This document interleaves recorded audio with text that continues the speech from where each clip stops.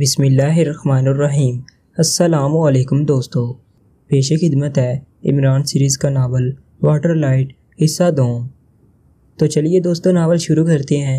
लेकिन इससे पहले आप सब दोस्तों से गुजारिश है कि उर्दू सफ़ा चैनल को लाजमी से सब्सक्राइब कर लें और बेल को ज़रूर प्रेस कर दें। विलियम फ़ोन के पास बैठा हुआ था और बार बार दीवार घेर क्लाक देखने के साथ साथ बार बार टेलीफोन की तरफ़ देख ही रहा था, जैसे वो शिद्दत से किसी के फ़ोन का मुंतज़र हो। लियाना इसके सामने बैठी हुई थी और विलियम की बेचैनी देख देख कर मुस्करा रही थी। तो उसी लम्हे फ़ोन की घंटी बज उठी तो विलियम ने हाथ बढ़ाकर फ़ोन रिसीवर उठा लिया। यस, विलियम ने अपना नाम लिए बगैर कहा, सोजे बोल रहा हूँ। दूसरी तरफ़ से एक मर्दाना आवाज़ सुनाई दी ओ मैं तुम्हारे फ़ोन का ही इंतज़ार कर रहा था, सोजे। क्या रिपोर्ट है? विलियम ने तेज़ तेज़ बोलते हुए कहा, इसने लोडर का बटन ऑन कर दिया। ताकि लियाना भी इनकी बातें सुन सके। सोजे, ओटी के दिए हुए ग्रुप का लीडर था। ओटी ने इसे छः अफराद का मसला ग्रुप मुहैया किया था, जिसका इंचार्ज सोजे था। विलियम और लियाना के कहने पर सोजे और इसके साथी इसी कोठी में आकर इनसे मिले थे और इन दोनों ने सोजे और इसके साथियों को मुकम्मल ब्रीफिंग दी थी कि इन्हें क्या करना है। और इसके लिए इनकी प्लानिंग क्या है? विलियम ने सोजे और इसके साथियों को इमरान के बारे में मालूम हासिल करने का हुक्म दिया था। और वो इमरान के बारे में ये जानने के लिए इंतहाई बेताब था कि वो कहाँ है और क्या कर रहा है। इसलिए वह शिद्दत के साथ सोजे की रिपोर्ट का मुंतज़र था और सोजे ने इसे अब कई घंटों बाद कॉल किया था। इमरान के बारे में कुछ पता नहीं चल रहा है बस कि वो कहाँ है। वो अपने ज़ख्मी बाप की अयादत करने के लिए भी हस्पताल नहीं पहुँचा। मेरे आदमी हस्पताल के साथ साथ इमरान के फ्लैट की निगरानी भी कर रहे हैं, लेकिन इमरान वहाँ भी नहीं है। वो न जाने कहाँ मसरूफ़ है। सोजे ने जवाब दिया तो विलियम ने बे इख्तियार होड़ पीछ लिए। इमरान के वालद पर मास्टर मिकाई ने हमला कराकर इंतहाई हमाकत का सबूत दिया है, जिस पर इमरान का चौंक जाना यकीनी बात थी। इसलिए अब इसका मिलना महाल है और ये भी मुमकिन है कि वह अपने साथियों से अपने फ्लैट की निगरानी भी करा रहा हो। इसलिए तुम फ़ौरन अपने साथियों को वहाँ से हटाओ और यहाँ मेरे पास आ जाओ। अब हमें कोई ऐसा प्लान बनाना पड़ेगा जिससे काम की रफ्तार तेज़ हो सके और हम जल्द से जल्द इमरान तक पहुँच जाएँ। विलियम ने कहा ओके बास, मैं आ रहा हूँ, सोजे ने कहा, और विलियम ने रिसीवर क्रेडल पर रख दिया। इसके चेहरे पर जलाट के तासरात उभर आए थे। वो सोजे के आने से पहले कोई ऐसा मंसूबा बना लेना चाहता था, जिससे ना सिर्फ़ इमरान को सामने लाया जा सके, बल्कि इसे फौरी तौर पर हलाक भी किया जा सके।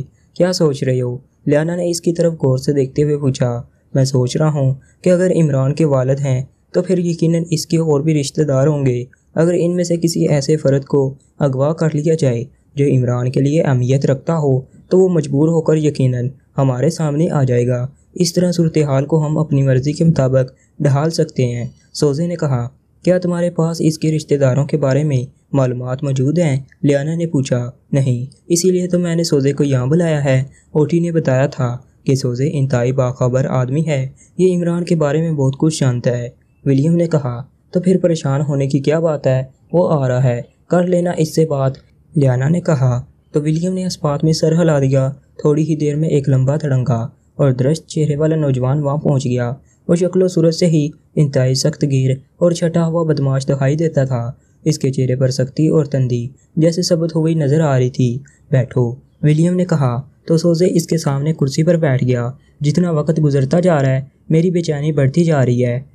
मैं जल्द से जल्द इमरान का खात्मा चाहता हूँ, लेकिन वो न जाने कहाँ गायब हो गया है। विलियम ने सोजे की तरफ़ देखते हुए इंतहाई बेचैन लहजे में कहा, यस, बास, अजीब इतफाक़ है। जब से हमने इमरान को ढूंढना शुरू किया है, वो गायब है। हो सकता है कि वो पाकिया में मौजूद ही ना हो। सोजे ने कहा। तो विलियम और लियाना चौंक पड़े। ओ हाँ वाकई ऐसा मुमकिन है। मुझे इस बात का ख्याल ही नहीं रहा। ठीक है, पहले हम इस बात का पता लगाते हैं कि वो मुल्क में है या भी नहीं। ऐसा ना हो कि वो वाकई पाकिया में ना हो और हम ख्वा मखा इधर उधर दीवारों से सर टकराते रह जाएँ। विलियम ने कहा, लेकिन कैसे पता चलेगा कि वो पाकिया में है या पाकिया से बाहर? लियाना ने पूछा, तुम्हारे पास इमरान के फ्लैट का नंबर है? विलियम ने सोजे की तरफ़ देखते हुए कहा हाँ है, वहाँ इसका एक मुलाजम रहता है। सुलेमान नाम है इसका। वो बहुत नेक चढ़ा आदमी है। सीधे मुँह बात ही नहीं करता। सोजे ने मुँह बनाते हुए कहा हूँ मैं इससे बात करता हूँ। अगर इसने इससे सीधे मुँह बात ना की तो इमरान से पहले मैं इसके टुकड़े उड़ा दूँगा। तुम नंबर बताओ मुझे। विलियम ने कहा तो सोजे ने इसे नंबर बता दिया। विलियम ने फ़ौरन फ़ोन का रिसीवर उठाया और तेज़ी से नंबर प्रेस करने लगा। एक दो बार घंटी बजी और फिर किसी ने रिसीवर उठा लिया। यस, सुंदरनाथ पटाका सिंह उर्फ़ भवुंदर दास मलाठी स्पीकिंग दूसरी तरफ़ से एक चैकती हुई आवाज़ सुनाई दी। सॉरी रॉन्ग नंबर विलियम ने चंडिलाए हुए लहजे में कहा और हाथ मारकर क्रेडिट दबा दिया ये किसका नंबर दे दिया है तुमने मुझे? नॉनसेंस विलियम ने गसीले लहजे में कहा, नंबर सही है। आपने शायद कोई नंबर मिस कर दिया है बास सोजे ने कहा। तो विलियम ने एक बार फिर नंबर प्रेस करने शुरू कर दिए ये किसकी उंगलियों में बार बार खारिश हो रही है, जो खारिश पटाने के लिए मेरे ही फ्लैट का नंबर प्रेस कर रहा है। दूसरी तरफ़ से वही आवाज़ सुनाई दी, जो पहले सुनाई दी थी। तो इन तीनों के चेहरों पर हैरत के तासरात उभर आए। क्या ये अली इमरान का फ्लैट है? विलियम ने आवाज़ बदल कर कहा नहीं ये सुपर फ्याज जो करता नहीं, किसी का लिहाज है, का फ्लैट है। अलबत् इस फ्लैट पर हकीर फकीर Ali Imran M S C, D S C Oxon का कब्ज़ा है। दूसरी तरफ़ से कहा गया तो वह तीनों उछल पड़े, क्योंकि ये आवाज़ अली इमरान की थी, जिसे वो तीनों बखूबी जानते थे। क्या तुम अली इमरान बोल रहे हो? विलियम ने पूछा। सिर्फ़ अली इमरान नहीं, Ali Imran M S C, D S C Oxon भी हूँ। डैडी ने मेरी इन डिग्रियों के हसूल के लिए रुपया पानी की तरह बहाया था। तब जाकर इम्तिहान रूम में मुझे नकल करने का मौका मिला था। दूसरी तरफ़ से इमरान की मखसूस आवाज़ सुनाई दी। सुनो, मेरा ताल्लक इसराइली एजेंसी ब्लैक हाक से है और मैं इस एजेंसी का टॉप एजेंट हूँ। मैं यहाँ तुम्हें हलाक करने के लिए आया हूँ। बहुत जल्द मैं तुम्हें तुम्हारी इन डिग्रियों समेत दफन कर दूँगा। विलियम ने इस बार खोलते हुए लहजे में कहा पाक्षियों में फजूल बक बक करने वाले को विलियम कहा जाता है और जो ज़्यादा बकवास करता है, इसका ताल्लुक ब्लैक हाक से ही होता है। और हमें सिखाया गया है कि बकवास करने वालों पर ना यकीन किया जाए और ना इनकी बातों को संजीदगी से लिया जाए। अब तुम करते रहो बक बक या बकवास एक ही बात है। इमरान ने इसी तरह से चहकते हुए लहजे में कहा तो विलियम गुस्से से खोल उठा। ये तुम्हें जल्द ही मालूम हो जाएगा कि कौन बकवास करता है। मैं बहुत जल्द तुम्हारी मौत बनकर तुम्हारे सामने हूँगा और मैं इस वक्त तक वापस नहीं जाऊँगा। जब तक तुम्हें हलाक करके तुम्हारी लाश के अपने हाथों से टुकड़े न कर दूँ विलियम ने सरद लहजे में कहा, अकेले आओगे? मुझे हलाक करने या अपनी महबूबा कम वाइफ लियाना को भी साथ लाओगे? सुना है, बड़ी खूबसूरत है तुम्हारी बीवी। एक बार देखा था, दूसरी बार देखने की हसरत है। इमरान ने कहा, तुम हमारे बारे में बहुत कुछ जानते हो, लेकिन तुम फ़िक्र न करो, हम तुम्हारी ही तलाश में लगे हुए थे। अब तुम मिल गए हो तो तुमसे हम पहली और आखिरी मुलाकात करने ज़रूर आएँगे। तुम बस तैयार रहो, विलियम ने उसी अंदाज में कहा, मैं तैयार ही हूँ। मैंने उमदा और इंतहाई देदा जेब नेवी कलर का सूट पहन लिया है, शेव कर ली है और परफ्यूम की दो शीशियाँ खुद पर उलट ली हैं, जिसकी खुशबू से पूरा फ्लैट पैक रहा है। तुम दोनों से मिलने के लिए मैं बेहद बेताब हूँ। अगर तुम्हें आने में दिशवारी है तो मुझे बताओ, मैं तुम्हारे पास पहुँच जाता हूँ। इमरान ने कहा, हूँ, तुम ज़रूरत से ज़्यादा चैक रहे हो, इमरान। खैर, कोई बात नहीं, चैक लो जितना चैकना है। जल्द ही तुम्हारी सारी चैक ख़त्म कर दी जाएगी। ये मेरा तुमसे वादा है, ब्लैक हाक विलियम का वादा। विलियम ने कहा, और साथ ही इसने गुस्से से रिसीवर क्रेडल पर फटक दिया। तुमने वैसे ही इससे इतनी लंबी बात की। अगर वो इतनी देर में तुम्हारा नंबर ट्रेस कर लेता तो लियाना ने इसे रिसीवर रखते देखकर कहा, ये कोठी कौन सी हमारी मलकियत है? हम इसे आज ही छोड़ देंगे। ओटी ने हमें जो रहायश का दी है, अब हम इसमें मुंतकिल हो जाएँगे। लेकिन अब चूँकि पता चल गया है कि इमरान अपने फ्लैट में है तो फिर मैं इस मौके को ज़ाया नहीं होने दूँगा। मैं अभी और इसी वक्त जाकर इसका खात्मा करूँगा। विलियम ने एक झटके से उठते हुए कहा तो लियाना और सोजे भी उठकर खड़े हो गए। तुम अपने साथियों को तैयार करो। हम आ रहे हैं। विलियम ने कहा तो सोजे ने इस बात में सर हलाया और तेज़ तेज़ कदम उठाता हुआ बैरूनी दरवाजे की तरफ़ बढ़ता चला गया। विलियम और लियाना ने अपनी तैयारी मुकम्मल की और फिर वो दोनों बाहर आ गए, जहाँ पार्किंग में एक कार और एक जीप तैयार थी। जीप में सोजे के पाँच साथी मौजूद थे।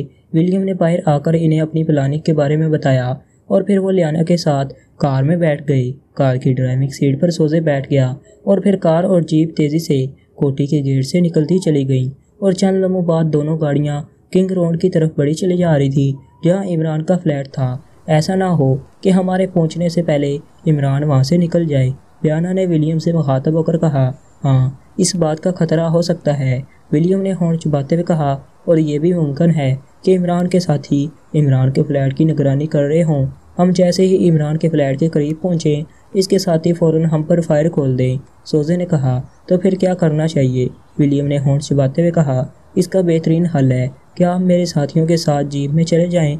मैं इमरान के फ्लैट के करीब से गुजरता हुआ, एक हैंड ग्रनेड वहाँ फेंकूँगा। धमाका होते ही, वहाँ मौजूद इमरान के साथी मेरे पीछे लग जाएँगे। इन्हें डाश देकर निकलना मेरा काम है। आप इस मौका का फ़ायदा उठाकर इसके फ्लैट में घुस जाएँ और इसका खात्मा कर दें, सोजे ने कहा। गुड आइडिया लेकिन इससे पहले लियाना की बात की भी तस्दीक होना ज़रूरी है कि इमरान फ्लैट में मौजूद है या धमकी सुनकर खौफजदा होकर निकल गया है। विलियम ने कहा, इमरान के फ्लैट के सामने एक फ़ोन बूथ है। आप वहाँ जाकर इमरान के फ्लैट में फ़ोन करके इसकी मौजूदगी चेक कर लें। अगर इमरान फ्लैट में मौजूद हो तो आप मुझे इशारा कर दें। इशारा मिलते ही मैं हैंड ग्रेनेड फेंक कर निकल जाऊँगा। और जैसे ही इमरान के साथी मेरे पीछे आएँगे, आप अपने साथियों को लेकर इमरान के फ्लैट पर हल्ला बोल देना, सोजे ने कहा। तो विलियम ने इस बात में सर हिला दिया। कार और जीप तेज़ी से किंग रोड की तरफ़ दौड़ी चली जा रही थी। टाइगर को मास्टर मिकाई की तलाश का काम सौंप कर इमरान वापस अपने फ्लैट में आ गया था। वो चूँकि टाइगर ही कार में था, इसलिए टाइगर इसे फ्लैट के पास ड्रॉप करके वहीं से वापस चला गया था।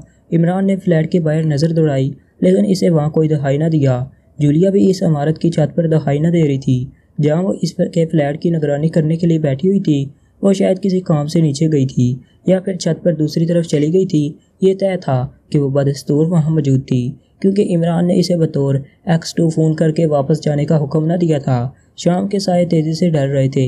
ये भी मुमकिन था कि वो छत से उतरकर किसी नज़दीकी रेस्टोरेंट में डिनर करने के लिए चली गई हो। इमरान फ्लैट में बैठा आज के अखबार देख रहा था कि फ़ोन की घंटी बज उठी। यस सुंदरनाथ डाका सिंह उर्फ़ पवंदर दास मलाठी स्पीकिंग इमरान ने मखसूस लहजे में कहा सॉरी रॉन्ग नंबर दूसरी तरफ़ से एक नामोज सी आवाज़ सुनाई दी और साथ ही रिसीवर रख दिया गया।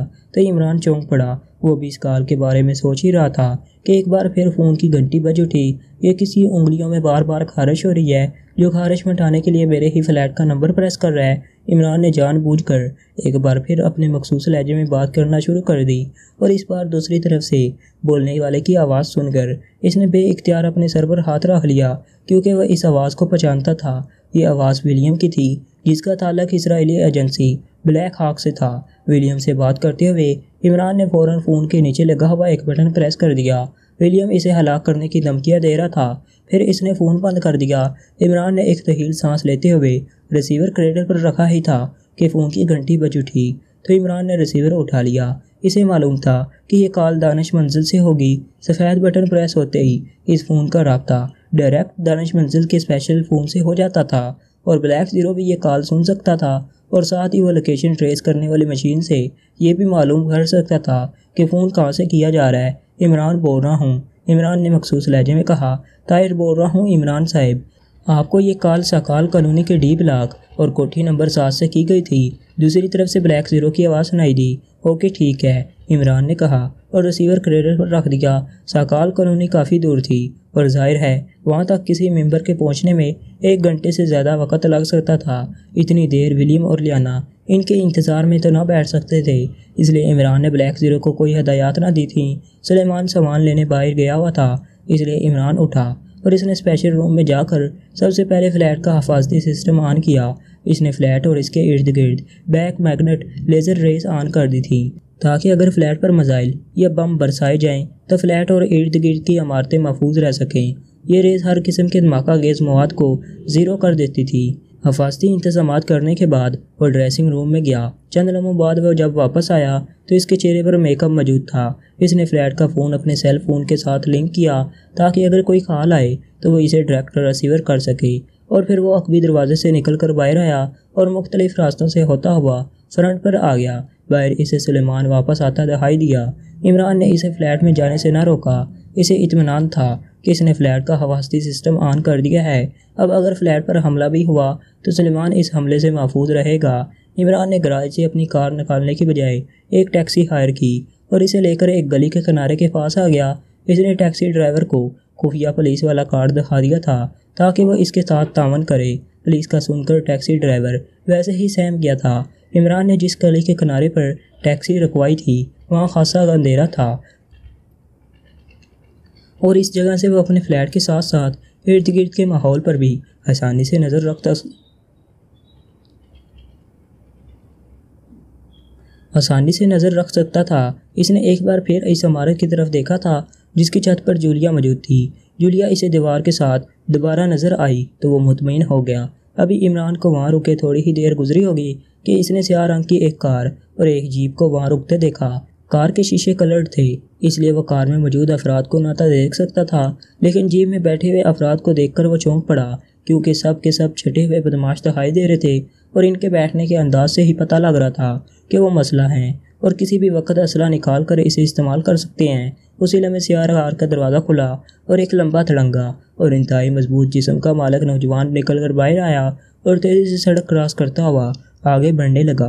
और सड़क की दूसरी तरफ़ मौजूद पब्लिक फ़ोन बूथ की जानब जा रहा था। इमरान ने फ़ौरन जेब से सेल फ़ोन निकाल लिया। और समझ गया था कि जो आदमी पब्लिक फ़ोन बूथ की तरफ़ जा रहा है, वो यकीन इसके फ्लैट में कॉल करके ये जानना चाहता है कि वो विलियम का फ़ोन सुनने के बावजूद फ्लैट में मौजूद है या नहीं। इसने इस आदमी के चलने के अंदाज से ही अंदाज़ा लगा लिया कि वह इसराइली एजेंसी ब्लैक हाक का एजेंट विलियम है। इसके होंठों पर बे इख्तियार मुस्कुराहट आ गई। इसका ख्याल दुरुस्त साबित हो रहा था। विलियम पब्लिक बूथ में घुसा और फ़ोन के मखसूस हिस्से में कार्ड डालकर तेज़ी से नंबर प्रेस करने लगा। इमरान ने अपने सेल फ़ोन को साइलेंट पर रखा हुआ था। चंद दिनों बाद सेल फ़ोन की स्क्रीन रोशन हुई और इसके डिस्प्ले पर नंबर फ्लैश करना शुरू हो गया। इमरान ने चंद में तो किया और फिर इसने बटन प्रेस करके सेल फ़ोन कान से लगा लिया। Yes Ali Imran M S C D S C Oxon बसबान खुद, बल्कि बदहान खुद बोल रहा हूँ। इमरान ने मखसूस लहजे में कहा तो टैक्सी ड्राइवर मुड़कर हैरत से इसकी तरफ़ देखने लगा। इमरान ने मुँह पर उंगली रख कर इसे खामोश रहने का इशारा किया तो इसने इस बात में सर हिला दिया। दूसरी तरफ़ से विलियम ने इससे कोई बात ना की। इमरान की आवाज़ सुनते ही इसने रिसीवर रख दिया था। रिसीवर रखते ही इमरान ने विलियम को फ़ोन बूथ से बाहर निकलकर स्याह रंग की तरफ़ हाथ से इशारा करते देखा। उसी लम्हे कार का दरवाज़ा खुला और एक नौजवान लड़की निकलकर बाहर आ गई। वो तेज़ी से विलियम की तरफ़ बढ़ी। विलियम ने हाथ उठाकर इसे रुकने का इशारा किया। उसी लम्हे से कार झटके से आगे बढ़ी। फिर कार जैसे ही इमरान के फ्लैट के सामने से गुजरने लगी, उसी लम्हे कार से हाथ बाहर आया और कोई चीज़ निकल कर तेज़ी से बिल्डिंग की तरफ़ बढ़ी। बिल्डिंग के सामने खाली जगह थी। कार से फेंकी गई चीज़ इस खाली जगह पर गिरी और दूसरे ले में माहौल तेज़ और ज़ोरदार धमाके से गूंज उठा। धमाके की सिर्फ़ आवाज़ ही गूंजी थी। इमरान ने चूँकि वहाँ हर तरफ़ बैक मैगनेट रेस फैला रखी थी, इसलिए बम की रेजिस्टेंस इस रेस ने सलब कर ली थी और इससे इर्द गिर्द कोई नुकसान न पहुँचा था। बम फेंकते ही स्याह कार मुनासिब रफ्तार से आगे बढ़ गई थी। उसी लम्हे इमरान ने इस इमारत से जुलिया को निकल कर बाहर आते और फिर तेज़ी से एक कार की तरफ़ जाते देखा। वो कार जूलिया की ही थी। जूलिया तेज़ी से कार में सवार हुई और दूसरे लम्बे वह स्याह कार के पीछे कार दौड़ाती ले गई। विलियम और लड़की साइड में खड़े थे और जीप भी वहीं रुकी हुई थी। इन्हें वहाँ रुके देखकर इमरान को इनकी चाल समझने में देर न लगी। वो समझ गया था कि स्याह कार वाले ने जानबूझकर सड़क पर बम फेंका था, ताकि अगर इमरान की निगरानी के लिए वहाँ सीक्रेट सर्विस के मेम्बरान मौजूद हों तो वो फ़ौरन इसकी कार के पीछे लग जाए और इनके जाते ही विलियम और इसके साथी इमरान के फ्लैट पर हल्ला बोल सकें। जैसे ही स्याह कार और जूलिया की कार वहाँ से दूर गई, उसी लम्हे विलियम ने हाथ उठाकर इशारा किया तो जीप में मौजूद अफराद उछल कर जीप से उतरते चले गए। इन सबने स्याह रंग के लिबास पहन रहे थे। इनके हाथ लिबासों के अंदर थे जिससे साफ़ मालूम हो रहा था कि वो मसला है। जीप से उतरकर वो सब तेज़ी से इमरान के फ्लैट के सामने वाली दीवार की तरफ़ बढ़ते चले गए। इन्हें जीप से दूर जाते देखकर इमरान फ़ौरन टैक्सी से निकला और फिर साइड की दीवार के साथ लगकर अंधेरे का फ़ायदा उठाता हुआ जीप की तरफ़ बढ़ने लगा, चूँकि विलियम, लड़की और इनके साथियों की तवज्जो इस बिल्डिंग की तरफ़ थी, जिसमें इमरान का फ्लैट था, इसलिए वो इसे ना देख सके थे। इमरान ने जीप के नज़दीक पहुँचते ही जंप लगाया और फ़ौरन जीप के अकम में आ गया और फिर वो उठे बगैर जीप के नीचे घुसता चला गया। जीप के नीचे जाते ही इसने जेब से एक छोटी सी डिवाइस निकाली। इसने उंगलियों से इस डिवाइस को प्रेस किया। तो डिवाइस से हल्की सी सीटी की आवाज़ निकली और इसके अंदर जैसी हल्की पावर का बल्ब सा रोशन हो गया। डिवाइस का रंग नीला हो गया था। इमरान ने फ़ौरन बटन नुमा डिवाइस, जीप के नीचे चिपकाई और फिर वो तेज़ी से जीप के नीचे से निकला। जम लगाकर वह एक बार फिर दीवार की तरफ़ आया और फिर झुके झुके अंदाज में ही दौड़ता हुआ वापस टैक्सी की तरफ़ आया। इसने टैक्सी का दरवाज़ा खोला और गड़ाब से अंदर बैठ गया और एक बार फिर इन अफराद की तरफ़ देखने लगा, जो विलियम और इसके साथी लड़की के पास खड़े थे और विलियम इन्हें हदायत दे रहा था।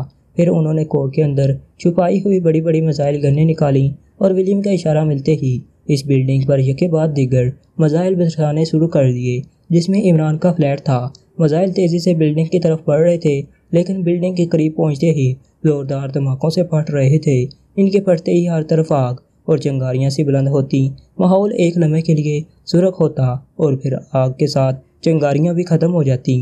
ये इसी हफाजती लेज़र रेस के हसार का नतीजा था कि मजाइल इमारत तक पहुँच ही नहीं रहे थे और बैक मैग्नेट पावर से रास्ते में ही ब्लास्ट हो रहे थे और सवाए मिज़ाइलों के धमाके के और कुछ ना हो रहा था। उन्होंने अमारत पर कई मिज़ाइल बरसाए और फिर वो सब तेज़ी से मुड़कर दौड़ते हुए जीप की तरफ़ आए और जीप में सवार होते चले गए। इनके साथ विलियम और लड़की भी थी, जो इमरान के ख्याल के मुताबिक लेडी एजेंट लियाना हो सकती थी। ज़ोरदार धमाकों से वहाँ कोई नुकसान तो नहीं हुआ था, लेकिन इन धमाकों ने वहाँ लोगों को इंतहाई खौफजदा कर दिया था और लोगों में भगदड़ सी मच गई थी। विलियम और इसके साथी जैसे ही स्याह जीप में बैठे, स्याह जीप तेज़ी से सड़क पर मुड़कर एक तरफ़ दौड़ती चली गई। ये ये ये सब क्या था साहिब? टैक्सी ड्राइवर ने जो धमाकों से बुरी तरह से सहमा हुआ था। बुखलाए हुए लहजे में कहा, कुछ नहीं, तुम चलो अब, इमरान ने कहा। इसने जीप के ताकम में जाने की ज़रूरत न समझी थी, क्योंकि इसने जीप के नीचे बटन नमा जो आला लगाया था, वो मखसूस ट्रैकर था, जिसकी वजह से वह जब चाहता, जीप की लोकेशन चेक कर सकता था। इसलिए इसने टैक्सी ड्राइवर को दानिश मंजिल का पता बता दिया और फिर थोड़ी देर बाद इमरान दानिश मंजिल में दाखिल हो रहा था। इमरान जैसे ही दानिश मंजिल के ऑपरेशन रूम में दाखिल हुआ, ब्लैक ज़ीरो इसके एहतराम में उठ खड़ा हुआ। अभी जूलिया का फ़ोन आया था। इसने बताया है कि जिस आदमी ने आपके फ्लैट पर हैंड ग्रनेड फेंका था, वो इसके पीछे गई थी, लेकिन वो आदमी इसे डाश देकर निकल जाने में कामयाब हो गया है। सलाम दुआ के बाद ब्लैक ज़ीरो ने इमरान से मुखातब होकर कहा, अब कहाँ है जूलिया? इमरान ने इतमान भरे लहजे में कहा, वो दोबारा आपके फ्लैट की तरफ़ रवाना हो गई है। ब्लैक ज़ीरो ने जवाब दिया, अब इसकी ज़रूरत नहीं पड़ेगी। उन्होंने फ्लैट पर एक बार हमला करना था, सो कर दिया। अब वो दोबारा इस तरफ़ आने की हमाकत नहीं करेंगे। इमरान ने कहा तो क्या मैं जूलिया को फ़ोन करके वापस जाने का कह दूँ? ब्लैक ज़ीरो ने पूछा हाँ लेकिन इससे पहले नीचे लेबॉर्ट्री में जाओ, वहाँ तुम्हें एक ट्रेकर का नंबर बताता हूँ। लिंक मशीन के ज़रिए इस ट्रैगर की लोकेशन चेक करो, इमरान ने कहा, और इसने ब्लैक ज़ीरो का एक कोड नंबर बता दिया। ब्लैक ज़ीरो ने इस बात में सरा लाया और उठकर तेज़ी से ऑपरेशन रूम से निकलता चला गया। थोड़ी ही देर में वो वापस आ गया। इस ड्रैगर की location star colony phase two, कोठी नंबर सत्रह है। ब्लैक ज़ीरो ने कहा तो इमरान ने इस बात में सर हिला दिया। अब करो जूलिया को कॉल और इससे कहो कि वो अपने साथियों को लेकर फ़ौरन स्टार कॉलोनी रवाना हो जाए। इन्हें हदायत दो कि वह सिर्फ़ इस रहायश गाह की निगरानी करें। मैं वहाँ जाकर खुद इन्हें लीड करूँगा, इमरान ने कहा। तो ब्लैक ज़ीरो ने इस बात में सर हिलाकर फ़ोन का रिसीवर उठाया और तेज़ी से जूलिया के नंबर प्रेस करने लगा। विलियम का चेहरा गुस्से से बिगड़ा हुआ था। वो लियाना और सोजे के साथ ओटी की दी हुई नई कोठी में थे। वो अभी थोड़ी देर पहले ही वहाँ पहुँचे थे। विलियम सारे रास्ते गुस्से में खोलता आया था। आखिर इतने मिसाइल बरसाने के बावजूद वो बिल्डिंग तबाह क्यों नहीं हुई? विलियम ने गसीले और इंतहाई जंजलाए हुए लहजे में कहा, इसी बात पर तो मैं भी हैरान हूँ। सोजे के साथियों ने बिल्डिंग पर पंद्रह मिसाइल फायर किए थे, जिनसे इमरान का फ्लैट और बिल्डिंग तो क्या? इसके इर्द गिर्द मौजूद दूसरी बिल्डिंग भी तिनकों की तरह उड़ जानी चाहिए थी। लेकिन ऐसा लग रहा था जैसे हम मजाइल न बरसा रहे हों, बल्कि आतशबाजी कर रहे हों। सिर्फ़ धमाका होता, आग और चंगारियाँ दिखाई देती थीं। और बस, लियाना ने हैरत भरे लहजे में कहा, मेरे आदमियों ने स्टार्क मजाइल फायर किए थे, जो इंतहाई ताकतवर मजाइल थे। लेकिन, सोजे ने कहा, समझ में नहीं आ रहा है कि आखिर हुआ क्या है।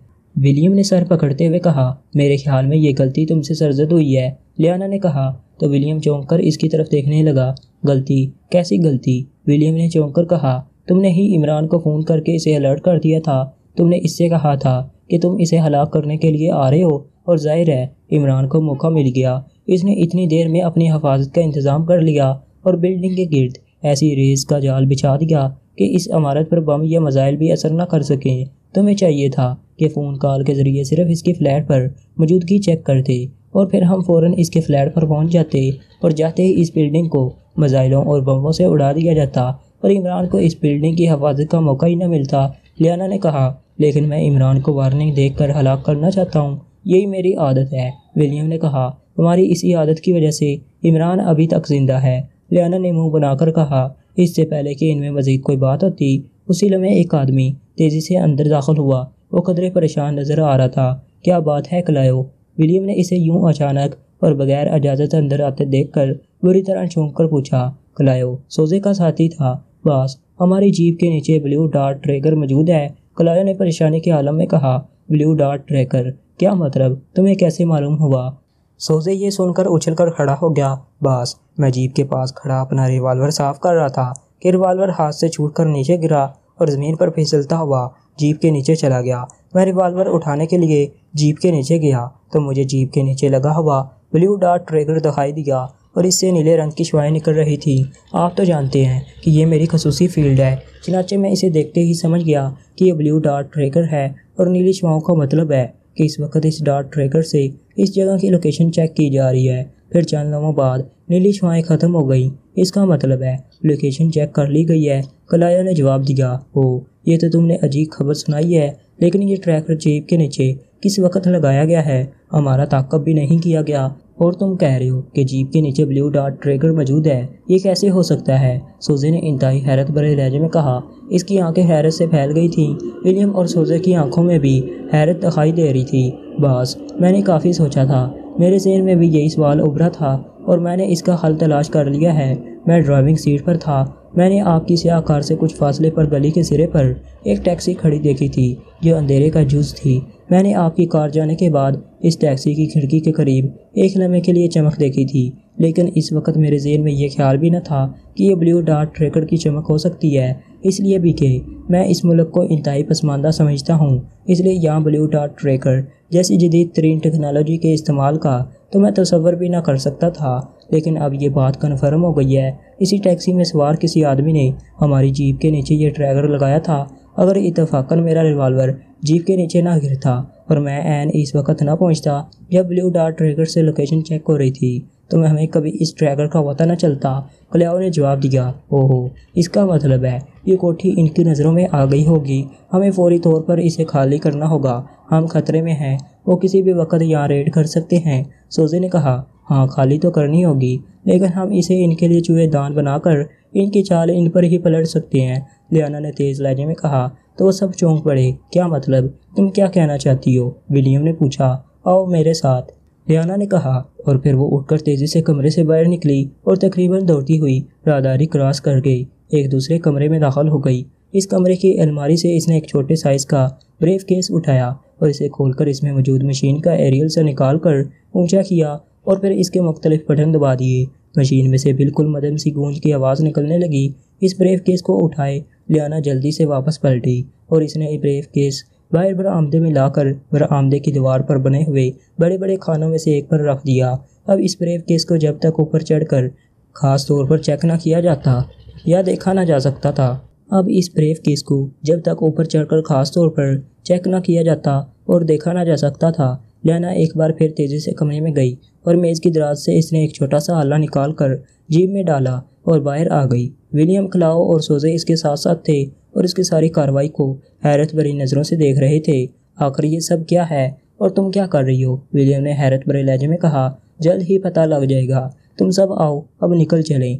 लियाना ने तेज़ तेज़ बोलते हुए कहा और फिर वो इन्हें लिए हुए अकबी तरफ़ बढ़ गई। चारों तेज़ी से अकबी दरवाज़ा खोलकर बाहर छोटी गली में आ गए। कलाओ, तुम अंदर से दरवाज़ा बंद करके दीवार फांद कर आ जाओ। जल्दी करो, सोजे ने कलाओ से कहा और कलाओ ने हुक्म की तामील की। गली सुनसान पड़ी हुई थी। वो एक दूसरे के पीछे चलते हुए चक्कर काट कर दोबारा सड़क पर आए और सड़क क्रॉस करके सामने वाली कोठियों की साइड से होते हुए इनकी अकबी गली में पहुँच गई। ये एक कोठी के अकबी दरवाजे पर पहुंचकर विलियम रुक गया ये कोठी भी मैंने एमरजेंसी के लिए हासिल कर रखी है। इसका फ्रंट और हमारी पहली कोठी का फ्रंट आमने सामने है। सिर्फ़ दरमियान में एक सड़क है। खलाओ चलो, अंदर कूद कर दरवाज़ा खोलो, सोजे ने कहा, और खलाओ छोटी सी दीवार को आसानी से कूद कर अंदर दाखिल हो गया। चंद लम्हों बाद दरवाज़ा अंदर से खुला, और वो सब इस कोठी में दाखिल हो गए। विलियम के कहने पर दरवाज़ा बंद कर दिया गया, और फिर वो सामने के रुख आकर सीढ़ियाँ चढ़ते हुए ऊपर एक ऐसे कमरे में पहुँच गई, जहाँ से सामने वाली कोठी और इसका अंदरूनी सामने वाला हिस्सा साफ़ नज़र आ रहा था। इसके निचले कमरे में मिनी गुजाइल गन्ने मौजूद हैं। वो लेकर फाटक की साइड में छुप जाओ। अव्वल तो तुम्हारे हमले की ज़रूरत नहीं पड़ेगी। लेकिन अगर ज़रूरत पड़ी तो मेरे इशारे पर तुमने फाटक से निकल कर सामने वाली कोठी में दाखिल हो जाना और फिर वहाँ जो नज़र आए, उड़ा देना। लियाना ने सोजे और इसके साथियों को हदायत देते हुए कहा और खुद वो विलियम और सोजे के साथ खिड़कियों के सामने कुर्सियाँ रखकर इस तरह बैठ गई कि ना सिर्फ़ सड़क, बल्कि कोठी का अंदरूनी हिस्सा, लान और बरामदा तक साफ़ नज़र आ रहे थे। इसने कमरे की मेज़ की दराज से उठाया हुआ रिमोट कंट्रोलर नमा आला अपने हाथ में ले लिया, जिस कमरे में मौजूद थे, वहाँ चूँकि अंधेरा था, इसलिए इनका बाहर से नज़र आना महाल था। अभी इन्हें वहाँ बैठे दस मिनट ही गुजरे होंगे कि चार कारें कोठी से ज़रा फासले पर आकर रुक गईं और फिर इनमें से कई अफराद निकल कर कोठी के गिर्द फैल गए। इनमें से एक गैर मुल्की औरत भी थी, लियाना के लबों पर मैंने गेज मुस्कुराहट उभर आई। लियाना, ये लोग निशाने पर तो हैं विलियम ने कहा।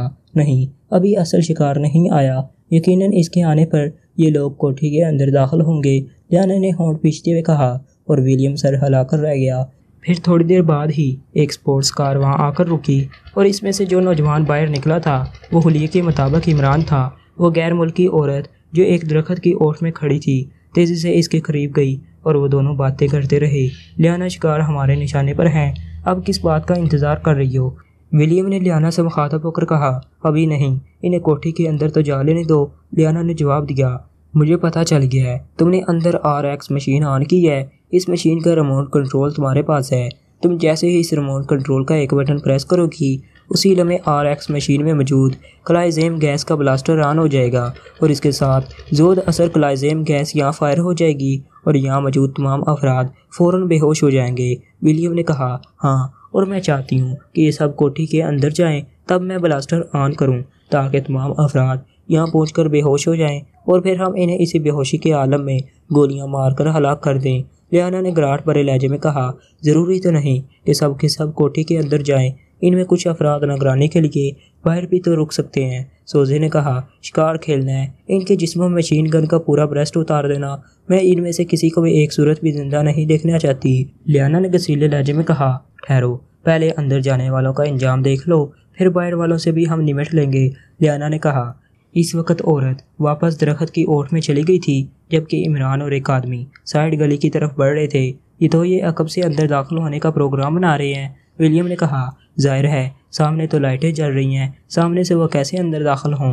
लियाना ने सर हिलाते हुए कहा, विलियम खामोश हो गया। अब ज़ाहिर है, वो यहाँ से अकबी तरफ़ का ख्याल तो न रख सकते थे और लियाना ने मशीन बरामदे में रखी थी। इसे ये ख्याल ही ना आया था कि आने वाले अकब की तरफ़ से अंदर दाखिल होंगे, लेकिन थोड़ी देर बाद वो चौंक पड़े, जब उन्होंने इमरान और इसके साथी को छत से सीढ़ियाँ उतर कर बरामदे में पहुँचते हुए देखा। लियाना, वो दोनों बरामदे में आ गए हैं। विलियम ने तेज़ लहजे में कहा मैं देख रही हूँ। लियाना ने कहा, उसी लम्हे उन्होंने इमरान के साथी को तेज़ी से फाटक की तरफ़ बढ़ते देखा क्योंकि इमरान अंदर कमरों में गायब हो चुका था। लियाना और विलियम होंड पीछे खामोश बैठे रहे। इमरान के साथी ने फाटक खोला और फिर चैनलों में बाद वो औरत और इसके दूसरे साथी भी एक एक करके कोठी के अंदर दाखिल हो गए। लियाना और विलियम इन्हें देखते रहे। वो सब कोठी के अंदर दाखिल हो गए थे। अभी वो बरामदे में ही पहुँचे थे कि इमरान अंदर से निकलता नज़र आया और वह सब बरामदे में ही रुक कर बातें करने लगे। लियाना ने जल्दी से हाथ में मौजूद आले पर लगे हुए एक बटन को प्रेस कर दिया। दूसरे में एक हल्का सा धमाका सुनाई दिया और पूरा भरा आमदा यकलकत नीले रंग के धुएँ से भर गया। वो मारा। अब मैं देखती हूँ कि ये लोग कैसे बचते हैं। लियाना ने खुशी से उछलते हुए कहा, चंद लम्हों बाद ही धुआँ छट गया। तो उन्होंने बरामदे में सब लोगों को मुड़े तोड़े अंदाज में ढेर होते हुए देखा और लियाना खुशी से चीखती हुई वापस पलट पड़ी। कोठी में ऐसी खामोशी छाई हुई है, जैसे यहाँ कोई ना हो। लेकिन कोठी की सारी लाइटें आन हैं। इमरान ने छत के ज़रिए सीढ़ियाँ उतर कर बरामदे में दाखिल होते हुए सफदर से मुखातब होकर कहा, वो अकबी तरफ़ से कूद कर अंदर दाखिल हुए थे और फिर पानी की पाइपों के ज़रिए ऊपर छत पर पहुँच गए थे। लेकिन वो जा कहाँ सकते हैं? इनकी जीप और स्याह कार भी पोर्च में मौजूद है और फाटक भी अंदर से बंद है। सफदर ने कहा, हो सकता है कि वो कोठी के किसी तह खाने में हो बहरहाल, तुम बाकी साथियों को बुला लाओ, हो सकता है टकराव हो जाए। इमरान ने सर हिलाते हुए कहा और सफदर जल्दी से फाटक की तरफ़ बढ़ गया, जबकि इमरान एहतियात से राहदारी में से होता हुआ अंदर एक कमरे में दाखिल हो गया। वो एक एक कमरे को बड़ी एहतियात से चेक कर रहा था। हर चीज़ वैसे ही मौजूद थी, जैसे अभी चंद लम्हे पहले वहाँ लोग मौजूद हों, चूँकि अकबी दरवाज़ा और सामने वाला फाटक दोनों अंदर से बंद थे और कमरों में मौजूद किसी भी चीज़ को ना हटाया गया था। इसलिए इमरान को यकीन था कि जो लोग भी यहाँ मौजूद थे, वो कम अज़ कम बाहर नहीं गए। इसलिए यकीन वो किसी तहखाने में मौजूद होंगे। इसने सोचा हो सकता है वो लोग किसी खास मीटिंग में या किसी ऐसे काम में मसरूफ़ हों, जिसके लिए तहखाने में रहना ज़रूरी हो। अब मसला था तहखाने को ढूंढना तो इसने सोचा कि सब साथियों को मुख्तलिफ़ स्पॉट्स पर तैनात कर देने के बाद ही तय खाने को तलाश किया जाए, क्योंकि तय खाना तलाश करने के दौरान किसी भी जगह से वो लोग अचानक नमदार हो सकते थे। चनाचा वो मुड़कर बरामदे में आया तो इसके साथी भी बरामदे में पहुँच चुके थे। मुझे लग रहा है कि वो लोग यहाँ मौजूद किसी तहखाने में हैं, इसलिए तुम सब ऐसी साइडों में छुप जाओ कि किसी भी जगह से अगर अचानक वो लोग निकल आएँ तो इन्हें आसानी से कवर किया जा सके। इमरान ने बरामदे में ही रोक कर इन्हें हदायत देते हुए कहा तो फिर हमारे लिए वो मुनासिब जगह भी आप ही बता दें। इमरान साहिब, सफदर ने कहा। इमरान ने कुछ कहने के लिए मुँह खोला ही था। कि इन्हें अपने सिरों पर यकलखत धमाका सा महसूस हुआ और फिर इससे के पहले वह संभलते, पूरा बरामदा यकलखत गहरे नीले रंग के धुएँ से भर गया। इमरान ने एक लम्हे के हज़ारवें हिस्से में सूरत हाल का एहसास करके फौरी तौर पर अपना सांस रोक लिया। लेकिन जब इसके बाकी साथी खाली होते हुए रेत के बोरों की तरह फर्श पर ढेर हो गए तो वो खुद भी इस तरह नीचे गिर गया, जैसे वो भी इस नीले रंग के धुएँ का शिकार हो गया हो। वो इस धुएँ वाली गैस को अच्छी तरह पहचानता था, एक लाइजम गैस थी, इंतहाई जोत असर, और फौरी तौर पर बेहोश कर देने वाली, और इसका शिकार सवाए एंटी क्लाजम के इंजेक्शन के किसी सूरत भी होश में ना आ सकता था। इमरान के जेर पर भी बावजूद सांस रोकने के, गैस ने यलकार करने की कोशिश की, लेकिन इमरान की कुत अरादी के मुकाबल इसका हमला इंतहाई कमज़ोर था। इसलिए इमरान का जहन बहरहाल बेदार रहा। बरामदा चूँकि सामने से खुला हुआ था, इसलिए गैस ज़्यादा देर बरामदे में न रह सकी और जल्द ही धुआँ झट गया इमरान खामोश पड़ा रहा। अलबत् इसने आधी आँखें खोल रखी थीं और इसके असाब पूरी तरह चुकन्ना थे, लेकिन वो बेहोशी किसी अंदाज में पड़ा रहा, ताकि जिस किसी ने भी ये जाल इनके खिलाफ फैलाया है, वो खुद अब इमरान की फर्जी बेहोशी के जाल में फंस कर सामने आने पर मजबूर हो जाए। वैसे इमरान दिल ही दिल में मुजरमों की जहानत की दाद दे रहा था कि ना सिर्फ़ इन्हें इनकी आमद का पहले से पता था, बल्कि उन्होंने बड़ी जहानत से इनके खिलाफ जाल भी बुन दिया था। अब वो किसी तय खाने में थे या फिर किसी तरह कोठी से बाहर निकल गए थे। क्लाइजम गैस का ब्लास्टर एन इस वक्त फटा था, जिस वक्त वो सब बरामदे में मौजूद थे। इसका मतलब यही था कि इस ब्लास्टर को दूर से कंट्रोल किया जा रहा है और ज़ाहिर है, जो कोई भी इसे कंट्रोल कर रहा है, वो इमरान और इसके साथियों को इसी तरीके से देख भी रहा है। अब यही सोचा जा सकता था कि ब्लू डार्ट ट्रेकर का राज किसी तरह भी खुल गया था, इसलिए इनके खिलाफ ये जाल तैयार किया गया है। चंद ही लम्हों बाद, इसने विलियम को फाटक की खुली खिड़की से दौड़कर अंदर दाखिल होते देखा। इसके पीछे वही लड़की और वही आदमी था, जिसने स्याह रंग की कार में से इमरान के फ्लैट पर हैंड ग्रनेड फेंका था। और फिर पाँच और अफराद अंदर दाखिल हुए। इन सब के हाथों में मशीन गन्ने थीं और वह सब दौड़ते हुए बरामदे में आए। इमरान ने आधे खुली आँखें बंद कर लीं, लेकिन हाथ में पकड़े हुए रिवाल्वर पर इसकी गिरफ्त मज़बूत थी। बास, अगर इजाज़त दें तो गोलियाँ मार दें इन सबको। एक इश्तियाक से पर आवाज़ सुनाई दी। मार देंगे सोजे। अब ये कहाँ जा सकते हैं? मैं ज़रा इस अहमक से दो बातें कर लूँ, जिसके मतलब चीफ़ ने तारीफ़ों के पुल बाँध दिए थे।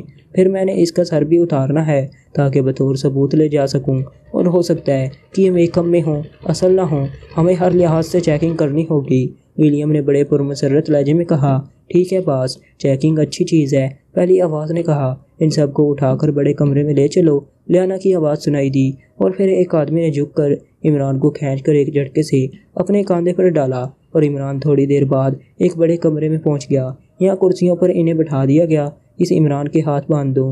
मैं सिर्फ़ इसी को होश में लाऊँगा, विलियम ने कहा और चंद लम्हों बाद इमरान के दोनों हाथ इसकी पुश्त पर करके बाँध गए थे। पहले इसका मेकअप चेक करो, बाद में इसे एंटी क्लाइजम इंजेक्शन लगाना। लियाना ने कहा, मेकअप वाशर में पानी भी इस्तेमाल होगा।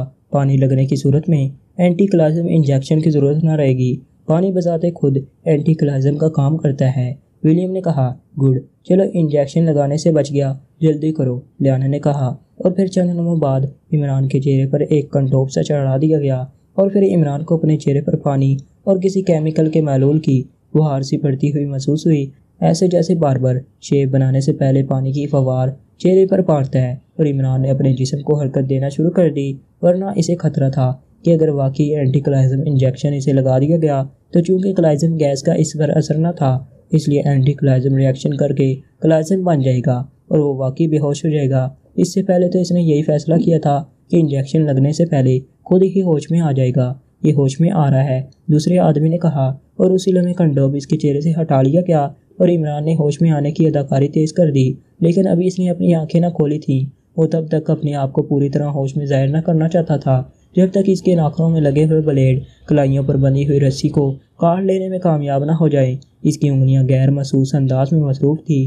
अंदाज ऐसा था जैसे इसका जिसम बेहोशी के खिलाफ मुसलसल जदोजहद कर रहा हो, इसलिए किसी को ब्लेडों की हरकत का अंदाज़ा ना हो सकता था। इन सब की तवज्जो यकीनन इसके होश में आने की तरफ़ थी, जब इमरान को एहसास हो गया कि रस्सी इतनी कट चुकी है कि अब वो एक झटके से जब चाहे बाकी मानदा रस्सी को तोड़ सकता है। तो इमरान ने आँखें खोल दी। इसके सामने वही छः अफराद मौजूद थे, विलियम और लियाना, बिल्कुल सामने मौजूद थे। जबकि एक आदमी कंटोक लेकर कमरे से बाहर जा रहा था और बाकी पाँच अफराद मशीन गन्ने हाथों में लिए दीवार के साथ लगे खड़े थे। मशीन गन्ने इनके हाथों में तो मौजूद थी, लेकिन इनके जिसम ढीले थे। ज़ाहिर है, बेहोश और बंधे हुए आदमियों से इन्हें फौरी तौर पर कोई खतरा न था। वेल डन तुम्हारी कुवती अराधी वाकई बेहद मज़बूत है, जो तुम्हें इतनी जल्दी होश आ गया है, अली इमरान।